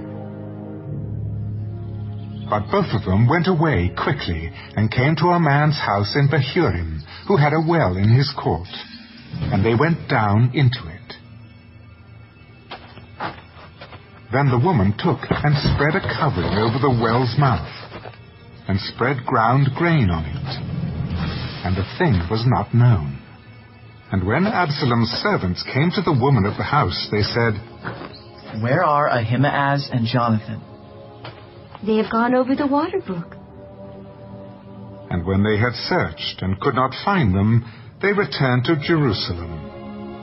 Now it came to pass, after they had departed, that they came up out of the well and went and told King David. Arise and cross over the water quickly, for thus has Ahithophel advised against you. So David and all the people who were with him arose and crossed over the Jordan. By morning light, not one of them was left who had not gone over the Jordan. Now when Ahithophel saw that his advice was not followed, he saddled a donkey and arose and went home to his house, to his city. Then he put his household in order and hanged himself and died, and he was buried in his father's tomb. Then David went to Mahanaim, and Absalom crossed over the Jordan, he and all the men of Israel with him. And Absalom made Amasa captain of the army instead of Joab. This Amasa was the son of a man whose name was Jithra, an Israelite, who had gone in to Abigail, the daughter of Nahash, sister of Zeruiah, Joab's mother. So Israel and Absalom encamped in the land of Gilead. Now it happened when David had come to Mahanaim that Shobi, the son of Nahash from Rabbah, of the people of Ammon, Machir, the son of Ammiel from Lo-debar, and Barzillai, the Gileadite, from Rogelim, brought beds and basins, earthen vessels and wheat, barley and flour, parched grain and beans, lentils and parched seeds, honey and curds, sheep and cheese of the herd, for David and the people who were with him to eat. For they said, The people are hungry and weary and thirsty in the wilderness.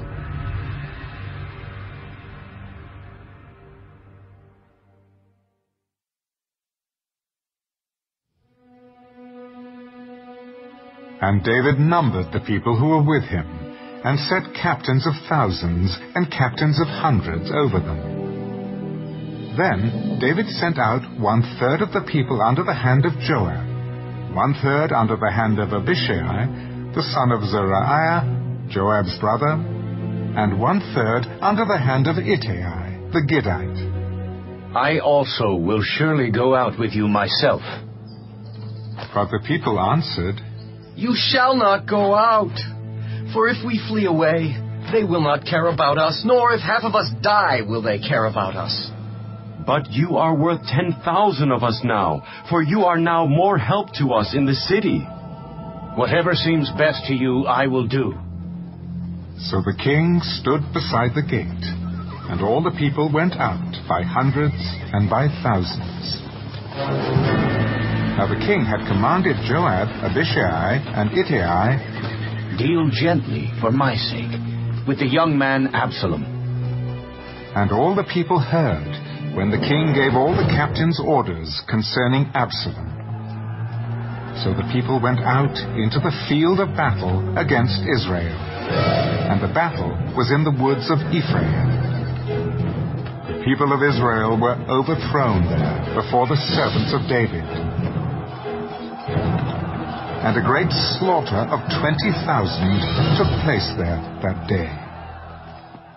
For the battle there was scattered over the face of the whole countryside, and the woods devoured more people that day than the sword devoured. Then Absalom met the servants of David. Absalom rode on a mule. The mule went under the thick boughs of a great terebinth tree, and his head caught in the terebinth. So he was left hanging between heaven and earth, and the mule which was under him went on. Now a certain man saw it and told Joab. I just saw Absalom hanging in a terebinth tree. You just saw him? And why did you not strike him there to the ground? I would have given you ten shekels of silver and a belt. Though I were to receive a thousand shekels of silver in my hand, I would not raise my hand against the king's son. For, in our hearing, the king commanded you and Abishai and Ittai, saying, Beware lest anyone touch the young man Absalom. Otherwise, I would have dealt falsely against my own life. For there is nothing hidden from the king, and you yourself would have set yourself against me. I cannot linger with you. And he took three spears in his hand and thrust them through Absalom's heart while he was still alive in the midst of the terebinth tree. And ten young men who bore Joab's armor surrounded Absalom and struck and killed him.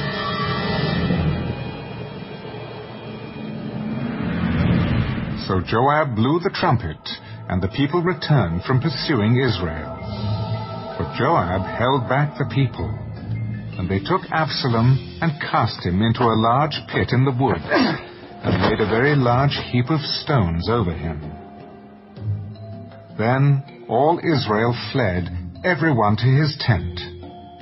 Now Absalom in his lifetime had taken and set up a pillar for himself, which is in the king's valley. For he said, I have no son to keep my name in remembrance. He called the pillar after his own name, and to this day it is called Absalom's monument.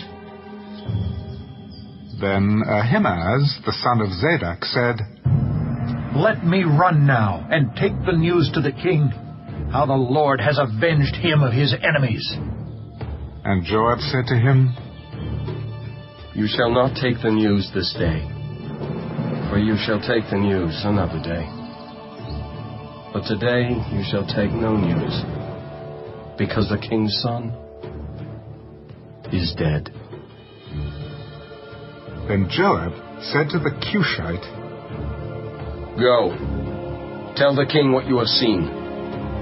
So the Cushite bowed himself to Joab and ran. And Ahimaaz, the son of Zadok, said again to Joab, But whatever happens, please let me also run after the Cushite. Why will you run, my son, since you have no news ready?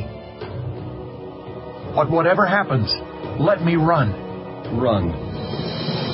Then Ahimaaz ran by way of the plain and outran the Cushite. Now David was sitting between the two gates. And the watchman went up to the roof over the gate, to the wall, lifted his eyes and looked. And there was a man running alone. Then the watchman cried out and told the king. And the king said, If he is alone, there is news in his mouth. And he came rapidly and drew near. Then the watchman saw another man running, and the watchman called to the gatekeeper and said, There is another man running alone. He also brings news. I think the running of the first is like the running of Ahimaaz, the son of Zadok. He is a good man and comes with good news. So Ahimaaz called out and said to the king, All is well. Then he bowed down with his face to the earth before the king. Blessed be the Lord your God, who has delivered up the men who raised their hand against my lord the king. Is the young man Absalom safe? When Joab sent the king's servant and me, your servant, I saw a great tumult, but I did not know what it was about. Turn aside and stand here. So he turned aside and stood still. Just then the Cushite came. There is good news, my lord the king. For the Lord has avenged you this day of all those who rose against you. Is the young man Absalom safe? May the enemies of my lord the king and all who rise against you to do harm be like that young man. Then the king was deeply moved, and went up to the chamber over the gate, and wept. And as he wept, he said thus, Oh, my son Absalom, my son, my son Absalom, if only I had died in your place. Oh, Absalom, my son, my son. oh.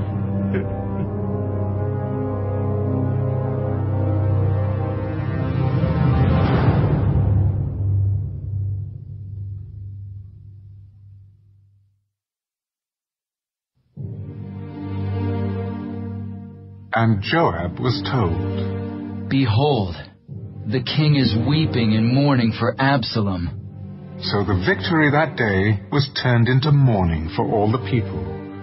For the people heard it said that day, The king is grieved for his son. And the people stole back into the city that day, as people who are ashamed steal away when they flee in battle. But the king covered his face, and the king cried out with a loud voice, Oh, my son Absalom! Oh, Absalom, my son! My son! Then Joab came into the house to the king. Today, you have disgraced all your servants, who today have saved your life, the lives of your sons and daughters, the lives of your wives, and the lives of your concubines, in that you love your enemies and hate your friends.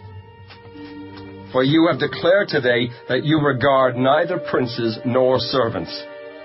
For today I perceive that if Absalom had lived, and all of us had died today, that it would have pleased you well. Now, therefore, arise. Go out and speak comfort to your servants.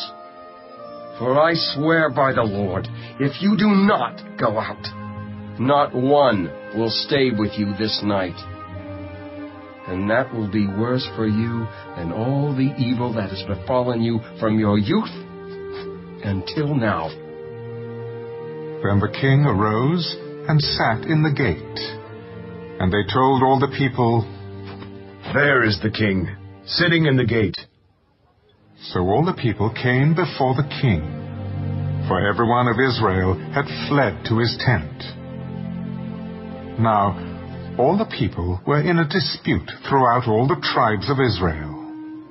The king saved us from the hand of our enemies He delivered us from the hand of the Philistines, and now he has fled from the land because of Absalom. But Absalom, whom we anointed over us, has died in battle. Now therefore, why do you say nothing about bringing back the king? So King David sent to Zadok and Abiathar the priests. Speak to the elders of Judah, saying, Why are you the last to bring the king back to his house, since the words of all Israel have come to the king, to his very house? You are my brethren. You are my bone and my flesh. Why then are you the last to bring back the king? And say to Amasa, Are you not my bone and my flesh? God, do so to me, and more also, if you are not commander of the army before me continually in place of Joab. So he swayed the hearts of all the men of Judah, just as the heart of one man so that they sent this word to the king Return, you and all your servants. Then the king returned and came to the Jordan. And Judah came to Gilgal to go to meet the king, to escort the king across the Jordan. And Shimei, the son of Gera, a Benjamite, who was from Bahurim, hurried and came down with the men of Judah to meet King David.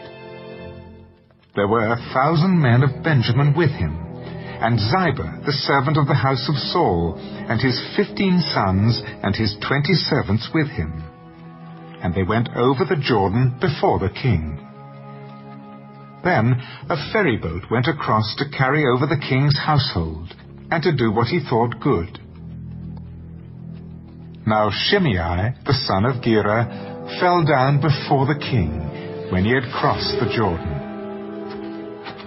Do not let my Lord impute iniquity to me. Or remember what wrong your servant did on the day that my Lord the King left Jerusalem, that the King should take it to heart. For I, your servant, know that I have sinned. Therefore, here I am, the first to come today of all the house of Joseph to go down to meet my Lord the King. But Abishai, the son of Zeruiah, answered, Shall not Shimei be put to death for this, because he cursed the Lord's anointed? And David said, What have I to do with you, you sons of Zeruiah, that you should be adversaries to me today? Shall any man be put to death today in Israel? For do I not know that today I am king over Israel? Therefore the king said to Shimei, You shall not die. And the king swore to him. Now Mephibosheth, the son of Saul, came down to meet the king. And he had not cared for his feet, nor trimmed his mustache, nor washed his clothes from the day the king departed until the day he returned in peace. So it was, when he had come to Jerusalem to meet the king, that the king said to him, Why did you not go with me, Mephibosheth? My lord, O king, my servant deceived me. For your servant said, I will saddle a donkey for myself, that I may ride on it and go to the king, because your servant is lame and he has slandered your servant to my lord the king. But my lord the king is like the angel of God. Therefore do what is good in your eyes. For all my father's house were but dead men before my lord the king. Yet you set your servant among those who eat at your own table. Therefore, what right have I still to cry out any more to the king? Why do you speak any more of your matters? I have said you and Ziba divide the land. Rather, let him take it all, inasmuch as my lord the king has come back in peace to his own house. And Barzillai, the Gileadite, came down from Rogelim, and went across the Jordan with the king to escort him across the Jordan. Now Barzillai was a very aged man, eighty years old and he had provided the king with supplies while he stayed at Mahanaim, for he was a very rich man. And the king said to Barzillai, Come across with me, and I will provide for you while you are with me in Jerusalem. How long have I to live that I should go up with the king to Jerusalem? I am today eighty years old. Can I discern between the good and bad? Can your servant taste what I eat or what I drink? Can I hear any longer the voice of singing men and singing women? Why then should your servant be a further burden to my lord the king? Your servant will go a little way across the Jordan with the king, and why should the king repay me with such a reward? Please let your servant turn back again, that I may die in my own city near the grave of my father and mother. But here is your servant Chimham. Let him cross over with my lord the king, and do for him what seems good to you. Chimham shall cross over with me, and I will do for him what seems good to you. Now whatever you request of me, I will do for you. Then all the people went over the Jordan.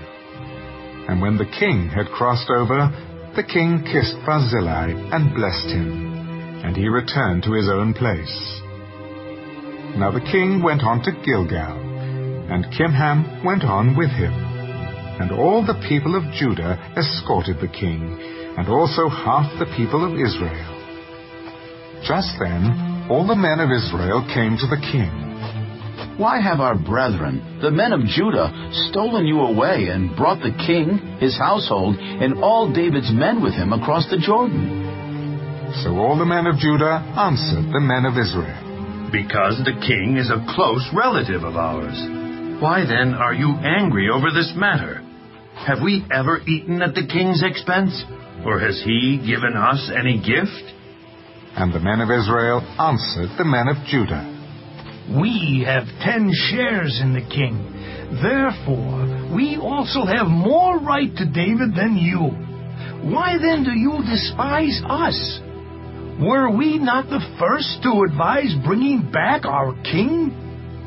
Yet the words of the men of Judah were fiercer than the words of the men of Israel.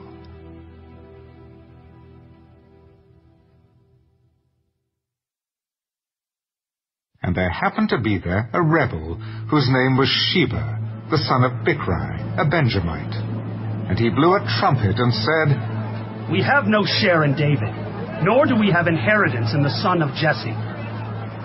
Every man to his tent, O Israel. So every man of Israel deserted David and followed Sheba, the son of Bichri. But the men of Judah, from the Jordan as far as Jerusalem, remained loyal to their king. Now David came to his house at Jerusalem, and the king took the ten women, his concubines, whom he had left to keep the house, and put them in seclusion, and supported them, but did not go into them. So they were shut up to the day of their death, living in widowhood. And the king said to Amasa, Assemble the men of Judah for me within three days, and be present here yourself. So Amasa went to assemble the men of Judah. But he delayed longer than the set time which David had appointed him. And David said to Abishai, Now Sheba, the son of Bichri, will do us more harm than Absalom. Take your lord's servants and pursue him, lest he find for himself fortified cities and escape us. So Joab's men, with the Cherethites, the Pelethites, and all the mighty men, went out after him. And they went out of Jerusalem to pursue Sheba the son of Bichri. When they were at the large stone which is in Gibeon, Amasa came before them. Now Joab was dressed in battle armor. On it was a belt, with a sword fastened in its sheath at his hips. And as he was going forward, it fell out. Then Joab said to Amasa, Are you in health, my brother? And Joab took Amasa by the beard with his right hand to kiss him. But Amasa did not notice the sword that was in Joab's hand, and he struck him with it in the stomach, and his entrails poured out on the ground, and he did not strike him again. Thus he died. Then Joab and Abishai his brother pursued Sheba the son of Bichri. Meanwhile, one of Joab's men stood near Amasa and said, Whoever favors Joab and whoever is for David, follow Joab. But Amasa wallowed in his blood in the middle of the highway. And when the man saw that all the people stood still, he moved Amasa from the highway to the field and threw a garment over him, when he saw that everyone who came upon him halted. When he was removed from the highway, all the people went on after Joab to pursue Sheba the son of Bichri. And he went through all the tribes of Israel to Abel and Bethmaachah and all the Berites. So they were gathered together and also went after Sheba. Then they came and besieged him in Abel of Bethmaachah. And they cast up a siege mound against the city, and it stood by the rampart. And all the people who were with Joab battered the wall to throw it down. Then a wise woman cried out from the city, Here, here, please say to Joab, Come nearby that I may speak with you. When he had come near to her, the woman said, Are you Joab? I am. Hear the words of your maidservant. I am listening. They used to talk in former times, saying, They shall surely seek guidance at Abel, and so they would end disputes. I am among the peaceable and faithful in Israel. You seek to destroy a city and a mother in Israel. Why would you swallow up the inheritance of the Lord? Far be it, far be it from me that I should swallow up or destroy. That is not so. But a man from the mountains of Ephraim, Sheba, the son of Bichri by name, has raised his hand against the king, against David. Deliver him only, and I will depart from the city. Watch. His head will be thrown to you over the wall. Then the woman, in her wisdom, went to all the people. And they cut off the head of Sheba, the son of Bichri, and threw it out to Joab. Then he blew a trumpet, and they withdrew from the city, every man to his tent. So Joab returned to the king at Jerusalem. And Joab was over all the army of Israel. Benaiah, the son of Jehoiada, was over the Kerethites and the Pelethites. Adoram was in charge of revenue. Jehoshaphat, the son of Ahilud, was recorder. Sheva was scribe. Zadok and Abiathar were the priests. And Ira, the Jairite, was a chief minister under David.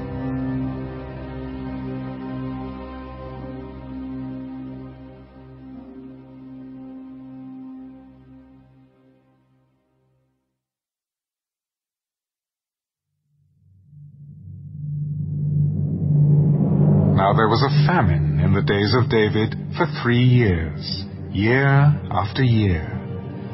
And David inquired of the Lord, and the Lord answered, It is because of Saul and his bloodthirsty house, because he killed the Gibeonites.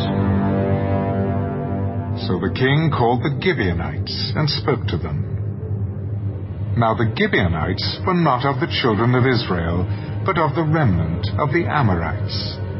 The children of Israel had sworn protection to them, but Saul had sought to kill them in his zeal for the children of Israel and Judah.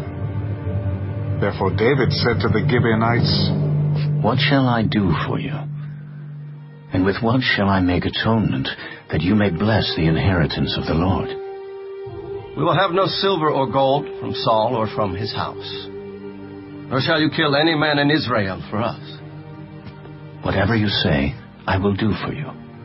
As for the man who consumed us and plotted against us, that we should be destroyed from remaining in any of the territories of Israel, let seven men of his descendants be delivered to us, and we will hang them before the Lord in Gibeah of Saul, whom the Lord chose. I will give them. But the king spared Mephibosheth, the son of Jonathan, the son of Saul, because of the Lord's oath that was between them, between David and Jonathan, the son of Saul. So the king took Armoni and Mephibosheth, the two sons of Rizpah, the daughter of Aiah, whom she bore to Saul, and the five sons of Michal, the daughter of Saul, whom she brought up for Adriel, the son of Barzillai, the Meholathite. And he delivered them into the hands of the Gibeonites, and they hanged them on the hill before the Lord. So they fell, all seven together, and were put to death in the days of harvest, in the first days, in the beginning of barley harvest. Now Rizpah, the daughter of Aiah, took sackcloth, and spread it for herself on the rock, from the beginning of harvest until the late rains poured on them from heaven and she did not allow the birds of the air to rest on them by day, nor the beasts of the field by night.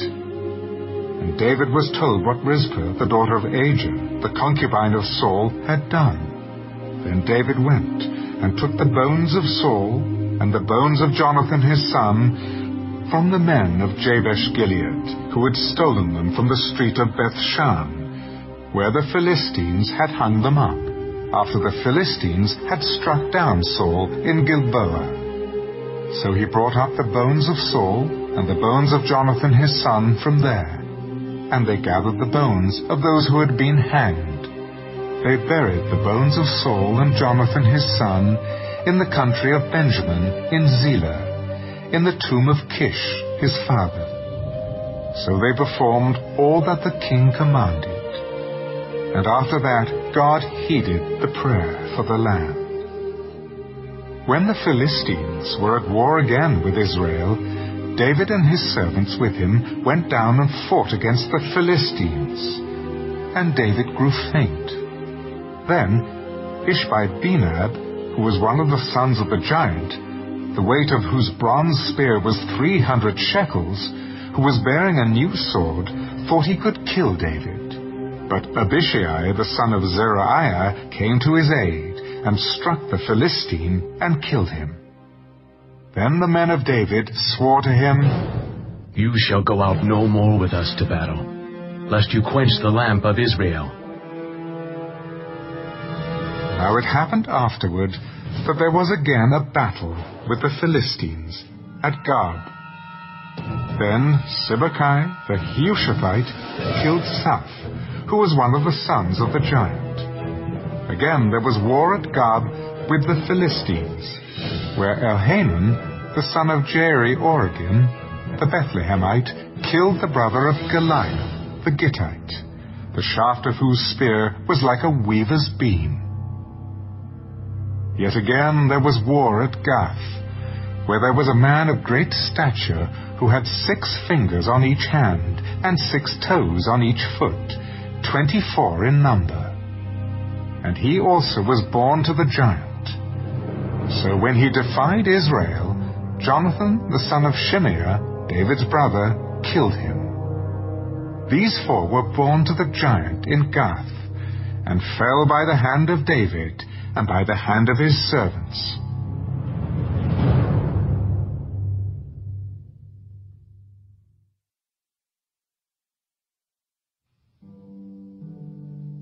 Then David spoke to the Lord the words of this song on the day when the Lord had delivered him from the hand of all his enemies and from the hand of Saul.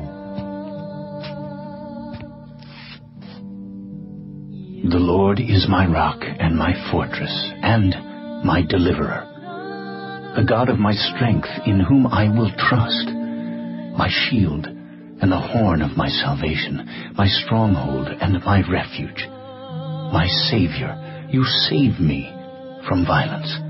I will call upon the Lord, who is worthy to be praised. so shall I be saved from my enemies when the waves of death surrounded me. The floods of ungodliness made me afraid. The sorrows of Sheol surrounded me. The snares of death confronted me. In my distress, I called upon the Lord and cried out to my God.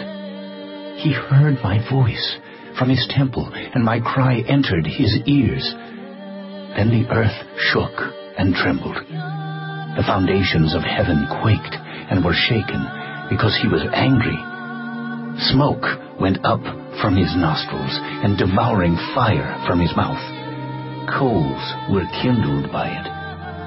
He bowed the heavens also and came down with darkness under his feet. He rode upon a cherub and flew and he was seen upon the wings of the wind. He made darkness canopies around him, dark waters and thick clouds of the skies. From the brightness before him, coals of fire were kindled. The Lord thundered from heaven, and the Most High uttered his voice. He sent out arrows and scattered them, lightning bolts, and he vanquished them. Then the channels of the sea were seen, the foundations of the world were uncovered. At the rebuke of the Lord, at the blast of the breath of his nostrils, he sent from above. He took me. He drew me out of many waters. He delivered me from my strong enemy, from those who hated me, for they were too strong for me. They confronted me in the day of my calamity, but the Lord was my support. He also brought me out into a broad place he delivered me because he delighted in me. The Lord rewarded me according to my righteousness. According to the cleanness of my hands, he has recompensed me. For I have kept the ways of the Lord, and have not wickedly departed from my God. For all his judgments were before me. And as for his statutes, I did not depart from them. I was also blameless before him, and I kept myself from my iniquity. Therefore the Lord has recompensed me according to my righteousness, according to my cleanness in his eyes. With the merciful you will show yourself merciful. With a blameless man you will show yourself blameless. With the pure you will show yourself pure. And with the devious you will show yourself shrewd. You will save the humble people, but your eyes are on the haughty, that you may bring them down. For you are my lamp, O Lord. The Lord shall enlighten my darkness. For by you I can run against a troop. By my God I can leap over a wall. As for God, his way is perfect. The word of the Lord is proven. He is a shield to all who trust in him. For who is God except the Lord? And who is a rock except our God? God is my strength and power, and he makes my way perfect. He makes my feet like the feet of deer, and sets me on high places. He teaches my hands to make war, so that my arms can bend a bow of bronze. You have also given me the shield of your salvation. Your gentleness has made me great. You enlarged my path under me, so my feet did not slip. I have pursued my enemies and destroyed them. Neither did I turn back again till they were destroyed. And I have destroyed them and wounded them, so that they could not rise. They have fallen under my feet. For you have armed me with strength for the battle. You have subdued under me those who rose against me. You have also given me the necks of my enemies, so that I destroyed those who hated me. They looked, but there was none to save, even to the Lord, but he did not answer them. Then I beat them as fine as the dust of the earth. I trod them like dirt in the streets, and I spread them out. You have also delivered me from the strivings of my people. You have kept me as the head of the nations. A people I have not known shall serve me. The foreigners submit to me. As soon as they hear, they obey me. The foreigners fade away and come frightened from their hideouts. The Lord lives. Blessed be my rock. Let God be exalted, the rock of my salvation. It is God who avenges me and subdues the peoples under me. He delivers me from my enemies. You also lift me up above those who rise against me. You have delivered me from the violent man. Therefore, I will give thanks to you, O Lord, among the Gentiles, and sing praises to your name. He is the tower of salvation to his king, and shows mercy to his anointed, to David and his descendants forevermore.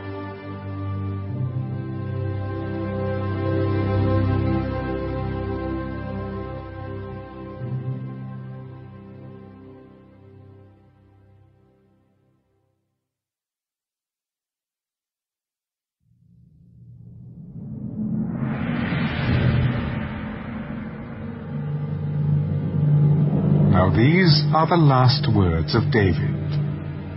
Thus says David the son of Jesse, Thus says the man raised up on high, the anointed of the God of Jacob, and the sweet psalmist of Israel. The Spirit of the Lord spoke by me, and his word was on my tongue. The God of Israel said, The rock of Israel spoke to me.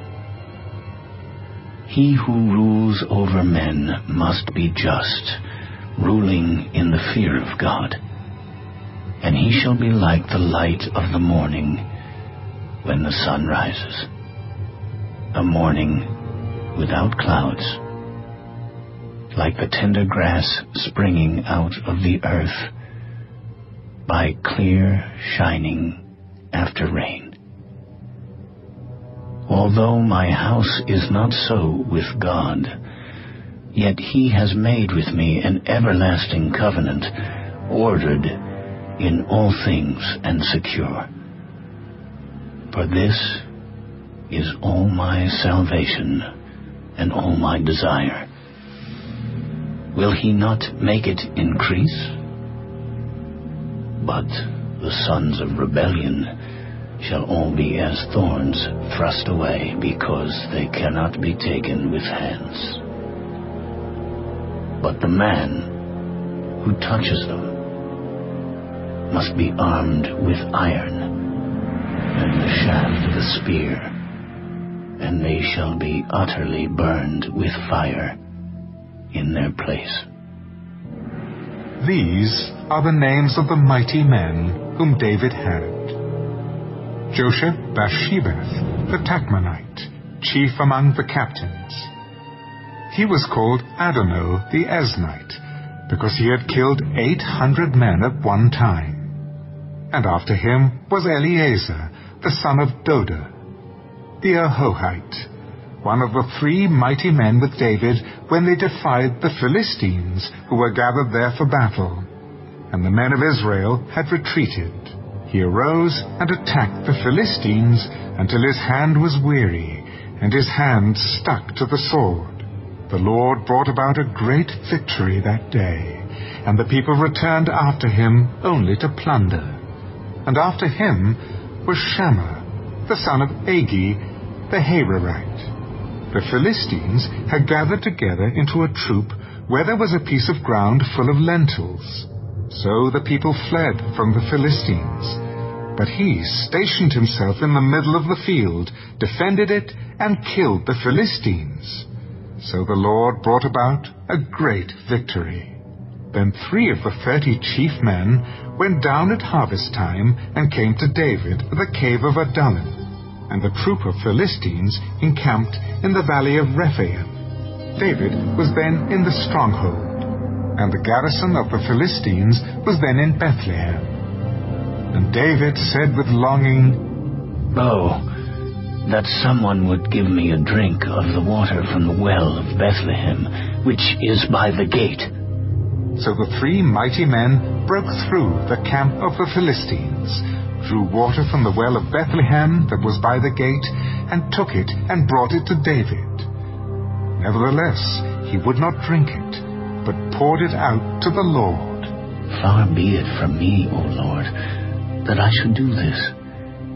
Is this not the blood of the men who went in jeopardy of their lives? Therefore he would not drink it. These things were done by the three mighty men. Now Abishai, the brother of Joab, the son of Zeruiah, was chief of another three. He lifted his spear against three hundred men, killed them, and won a name among these three. Was he not the most honored of three? Therefore he became their captain. However, he did not attain to the first three. Benaiah was the son of Jehoiada, the son of a valiant man from Kabzeel, who had done many deeds. He had killed two lion-like heroes of Moab. He also had gone down and killed a lion in the midst of a pit on a snowy day. And he killed an Egyptian, a spectacular man. The Egyptian had a spear in his hand, so he went down to him with a staff, wrested the spear out of the Egyptian's hand, and killed him with his own spear. These things Benaiah, the son of Jehoiada, did, and won a name among three mighty men. He was more honored than the thirty, but he did not attain to the first three, and David appointed him over his guard. Asahel, the brother of Joab, was one of the thirty.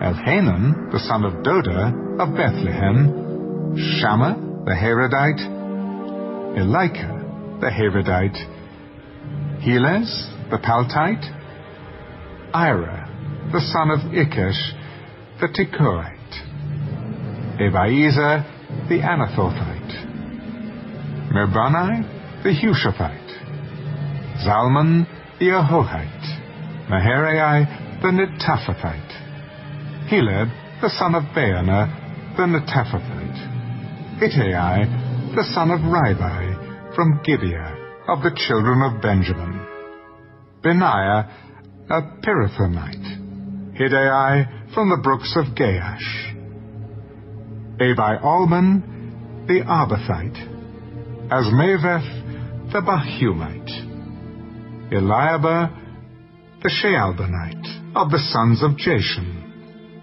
Jonathan, Shammah, the Hararite, Ahiam, the son of Sharar, the Hararite, Eliphalet, the son of Ahasbai, the son of the Maacathite, Eliam, the son of Ahithophel, the Gilonite, Ezrai, the Carmelite, Paarai, the Arbite, Igal, the son of Nathan of Zobah, Bani, the Gadite, Zelek, the Ammonite, Naharai, the Beerothite, armor-bearer of Joab, the son of Zeruiah, Ira, the Ithrite, Gareb, the Ithrite, and Uriah, the Hittite, thirty-seven in all.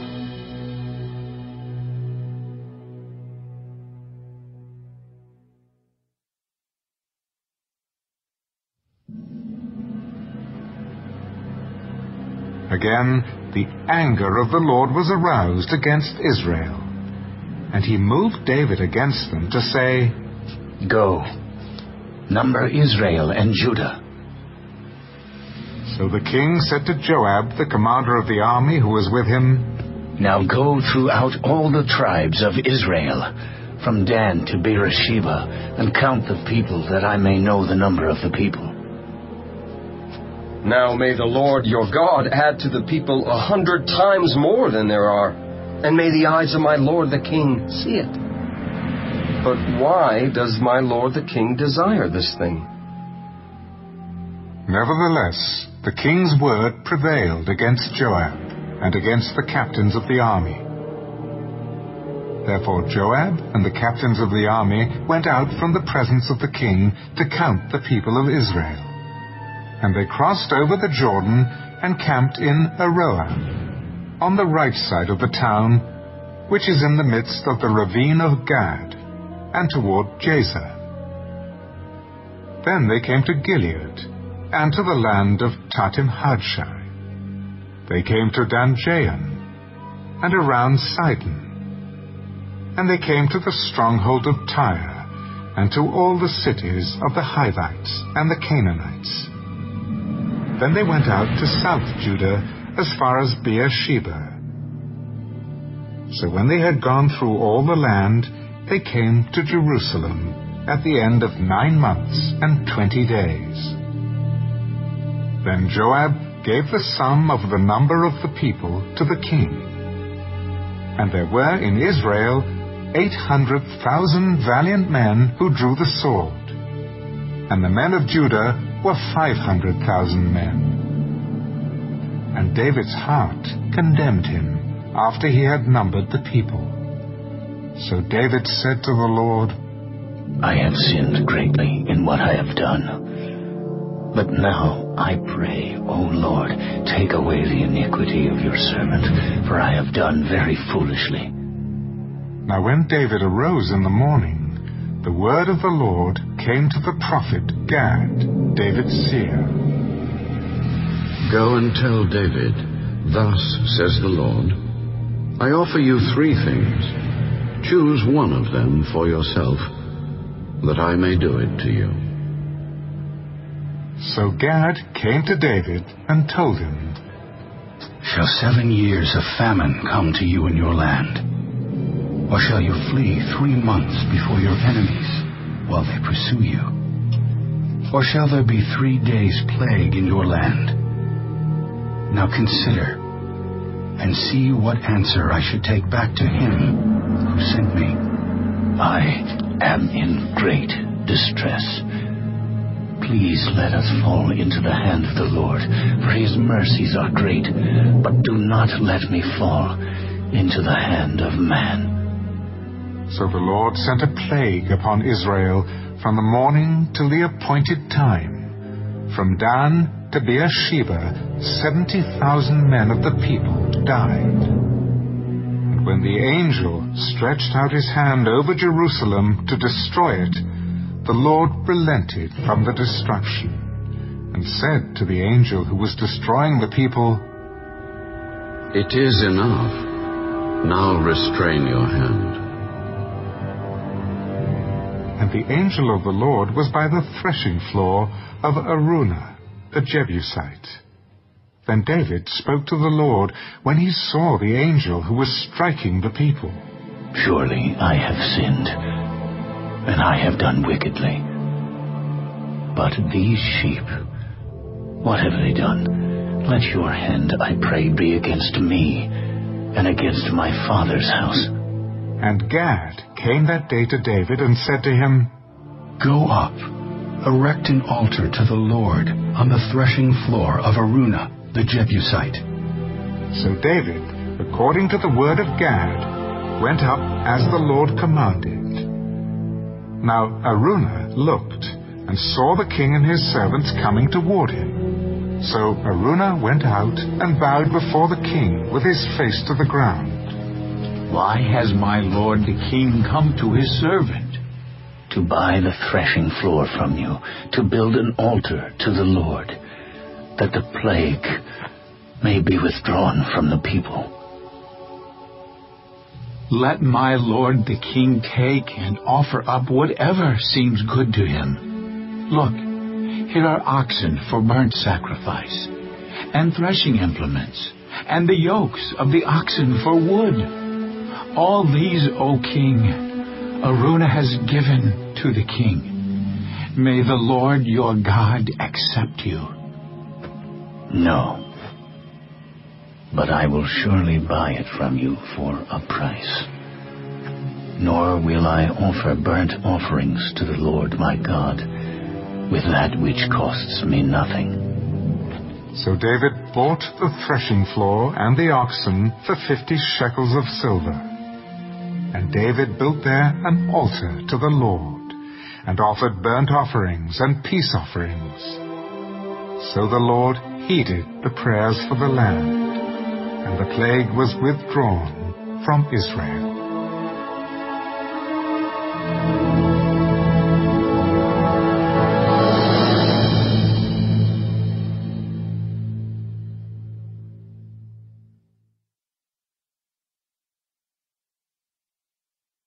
Audible hopes you have enjoyed this program.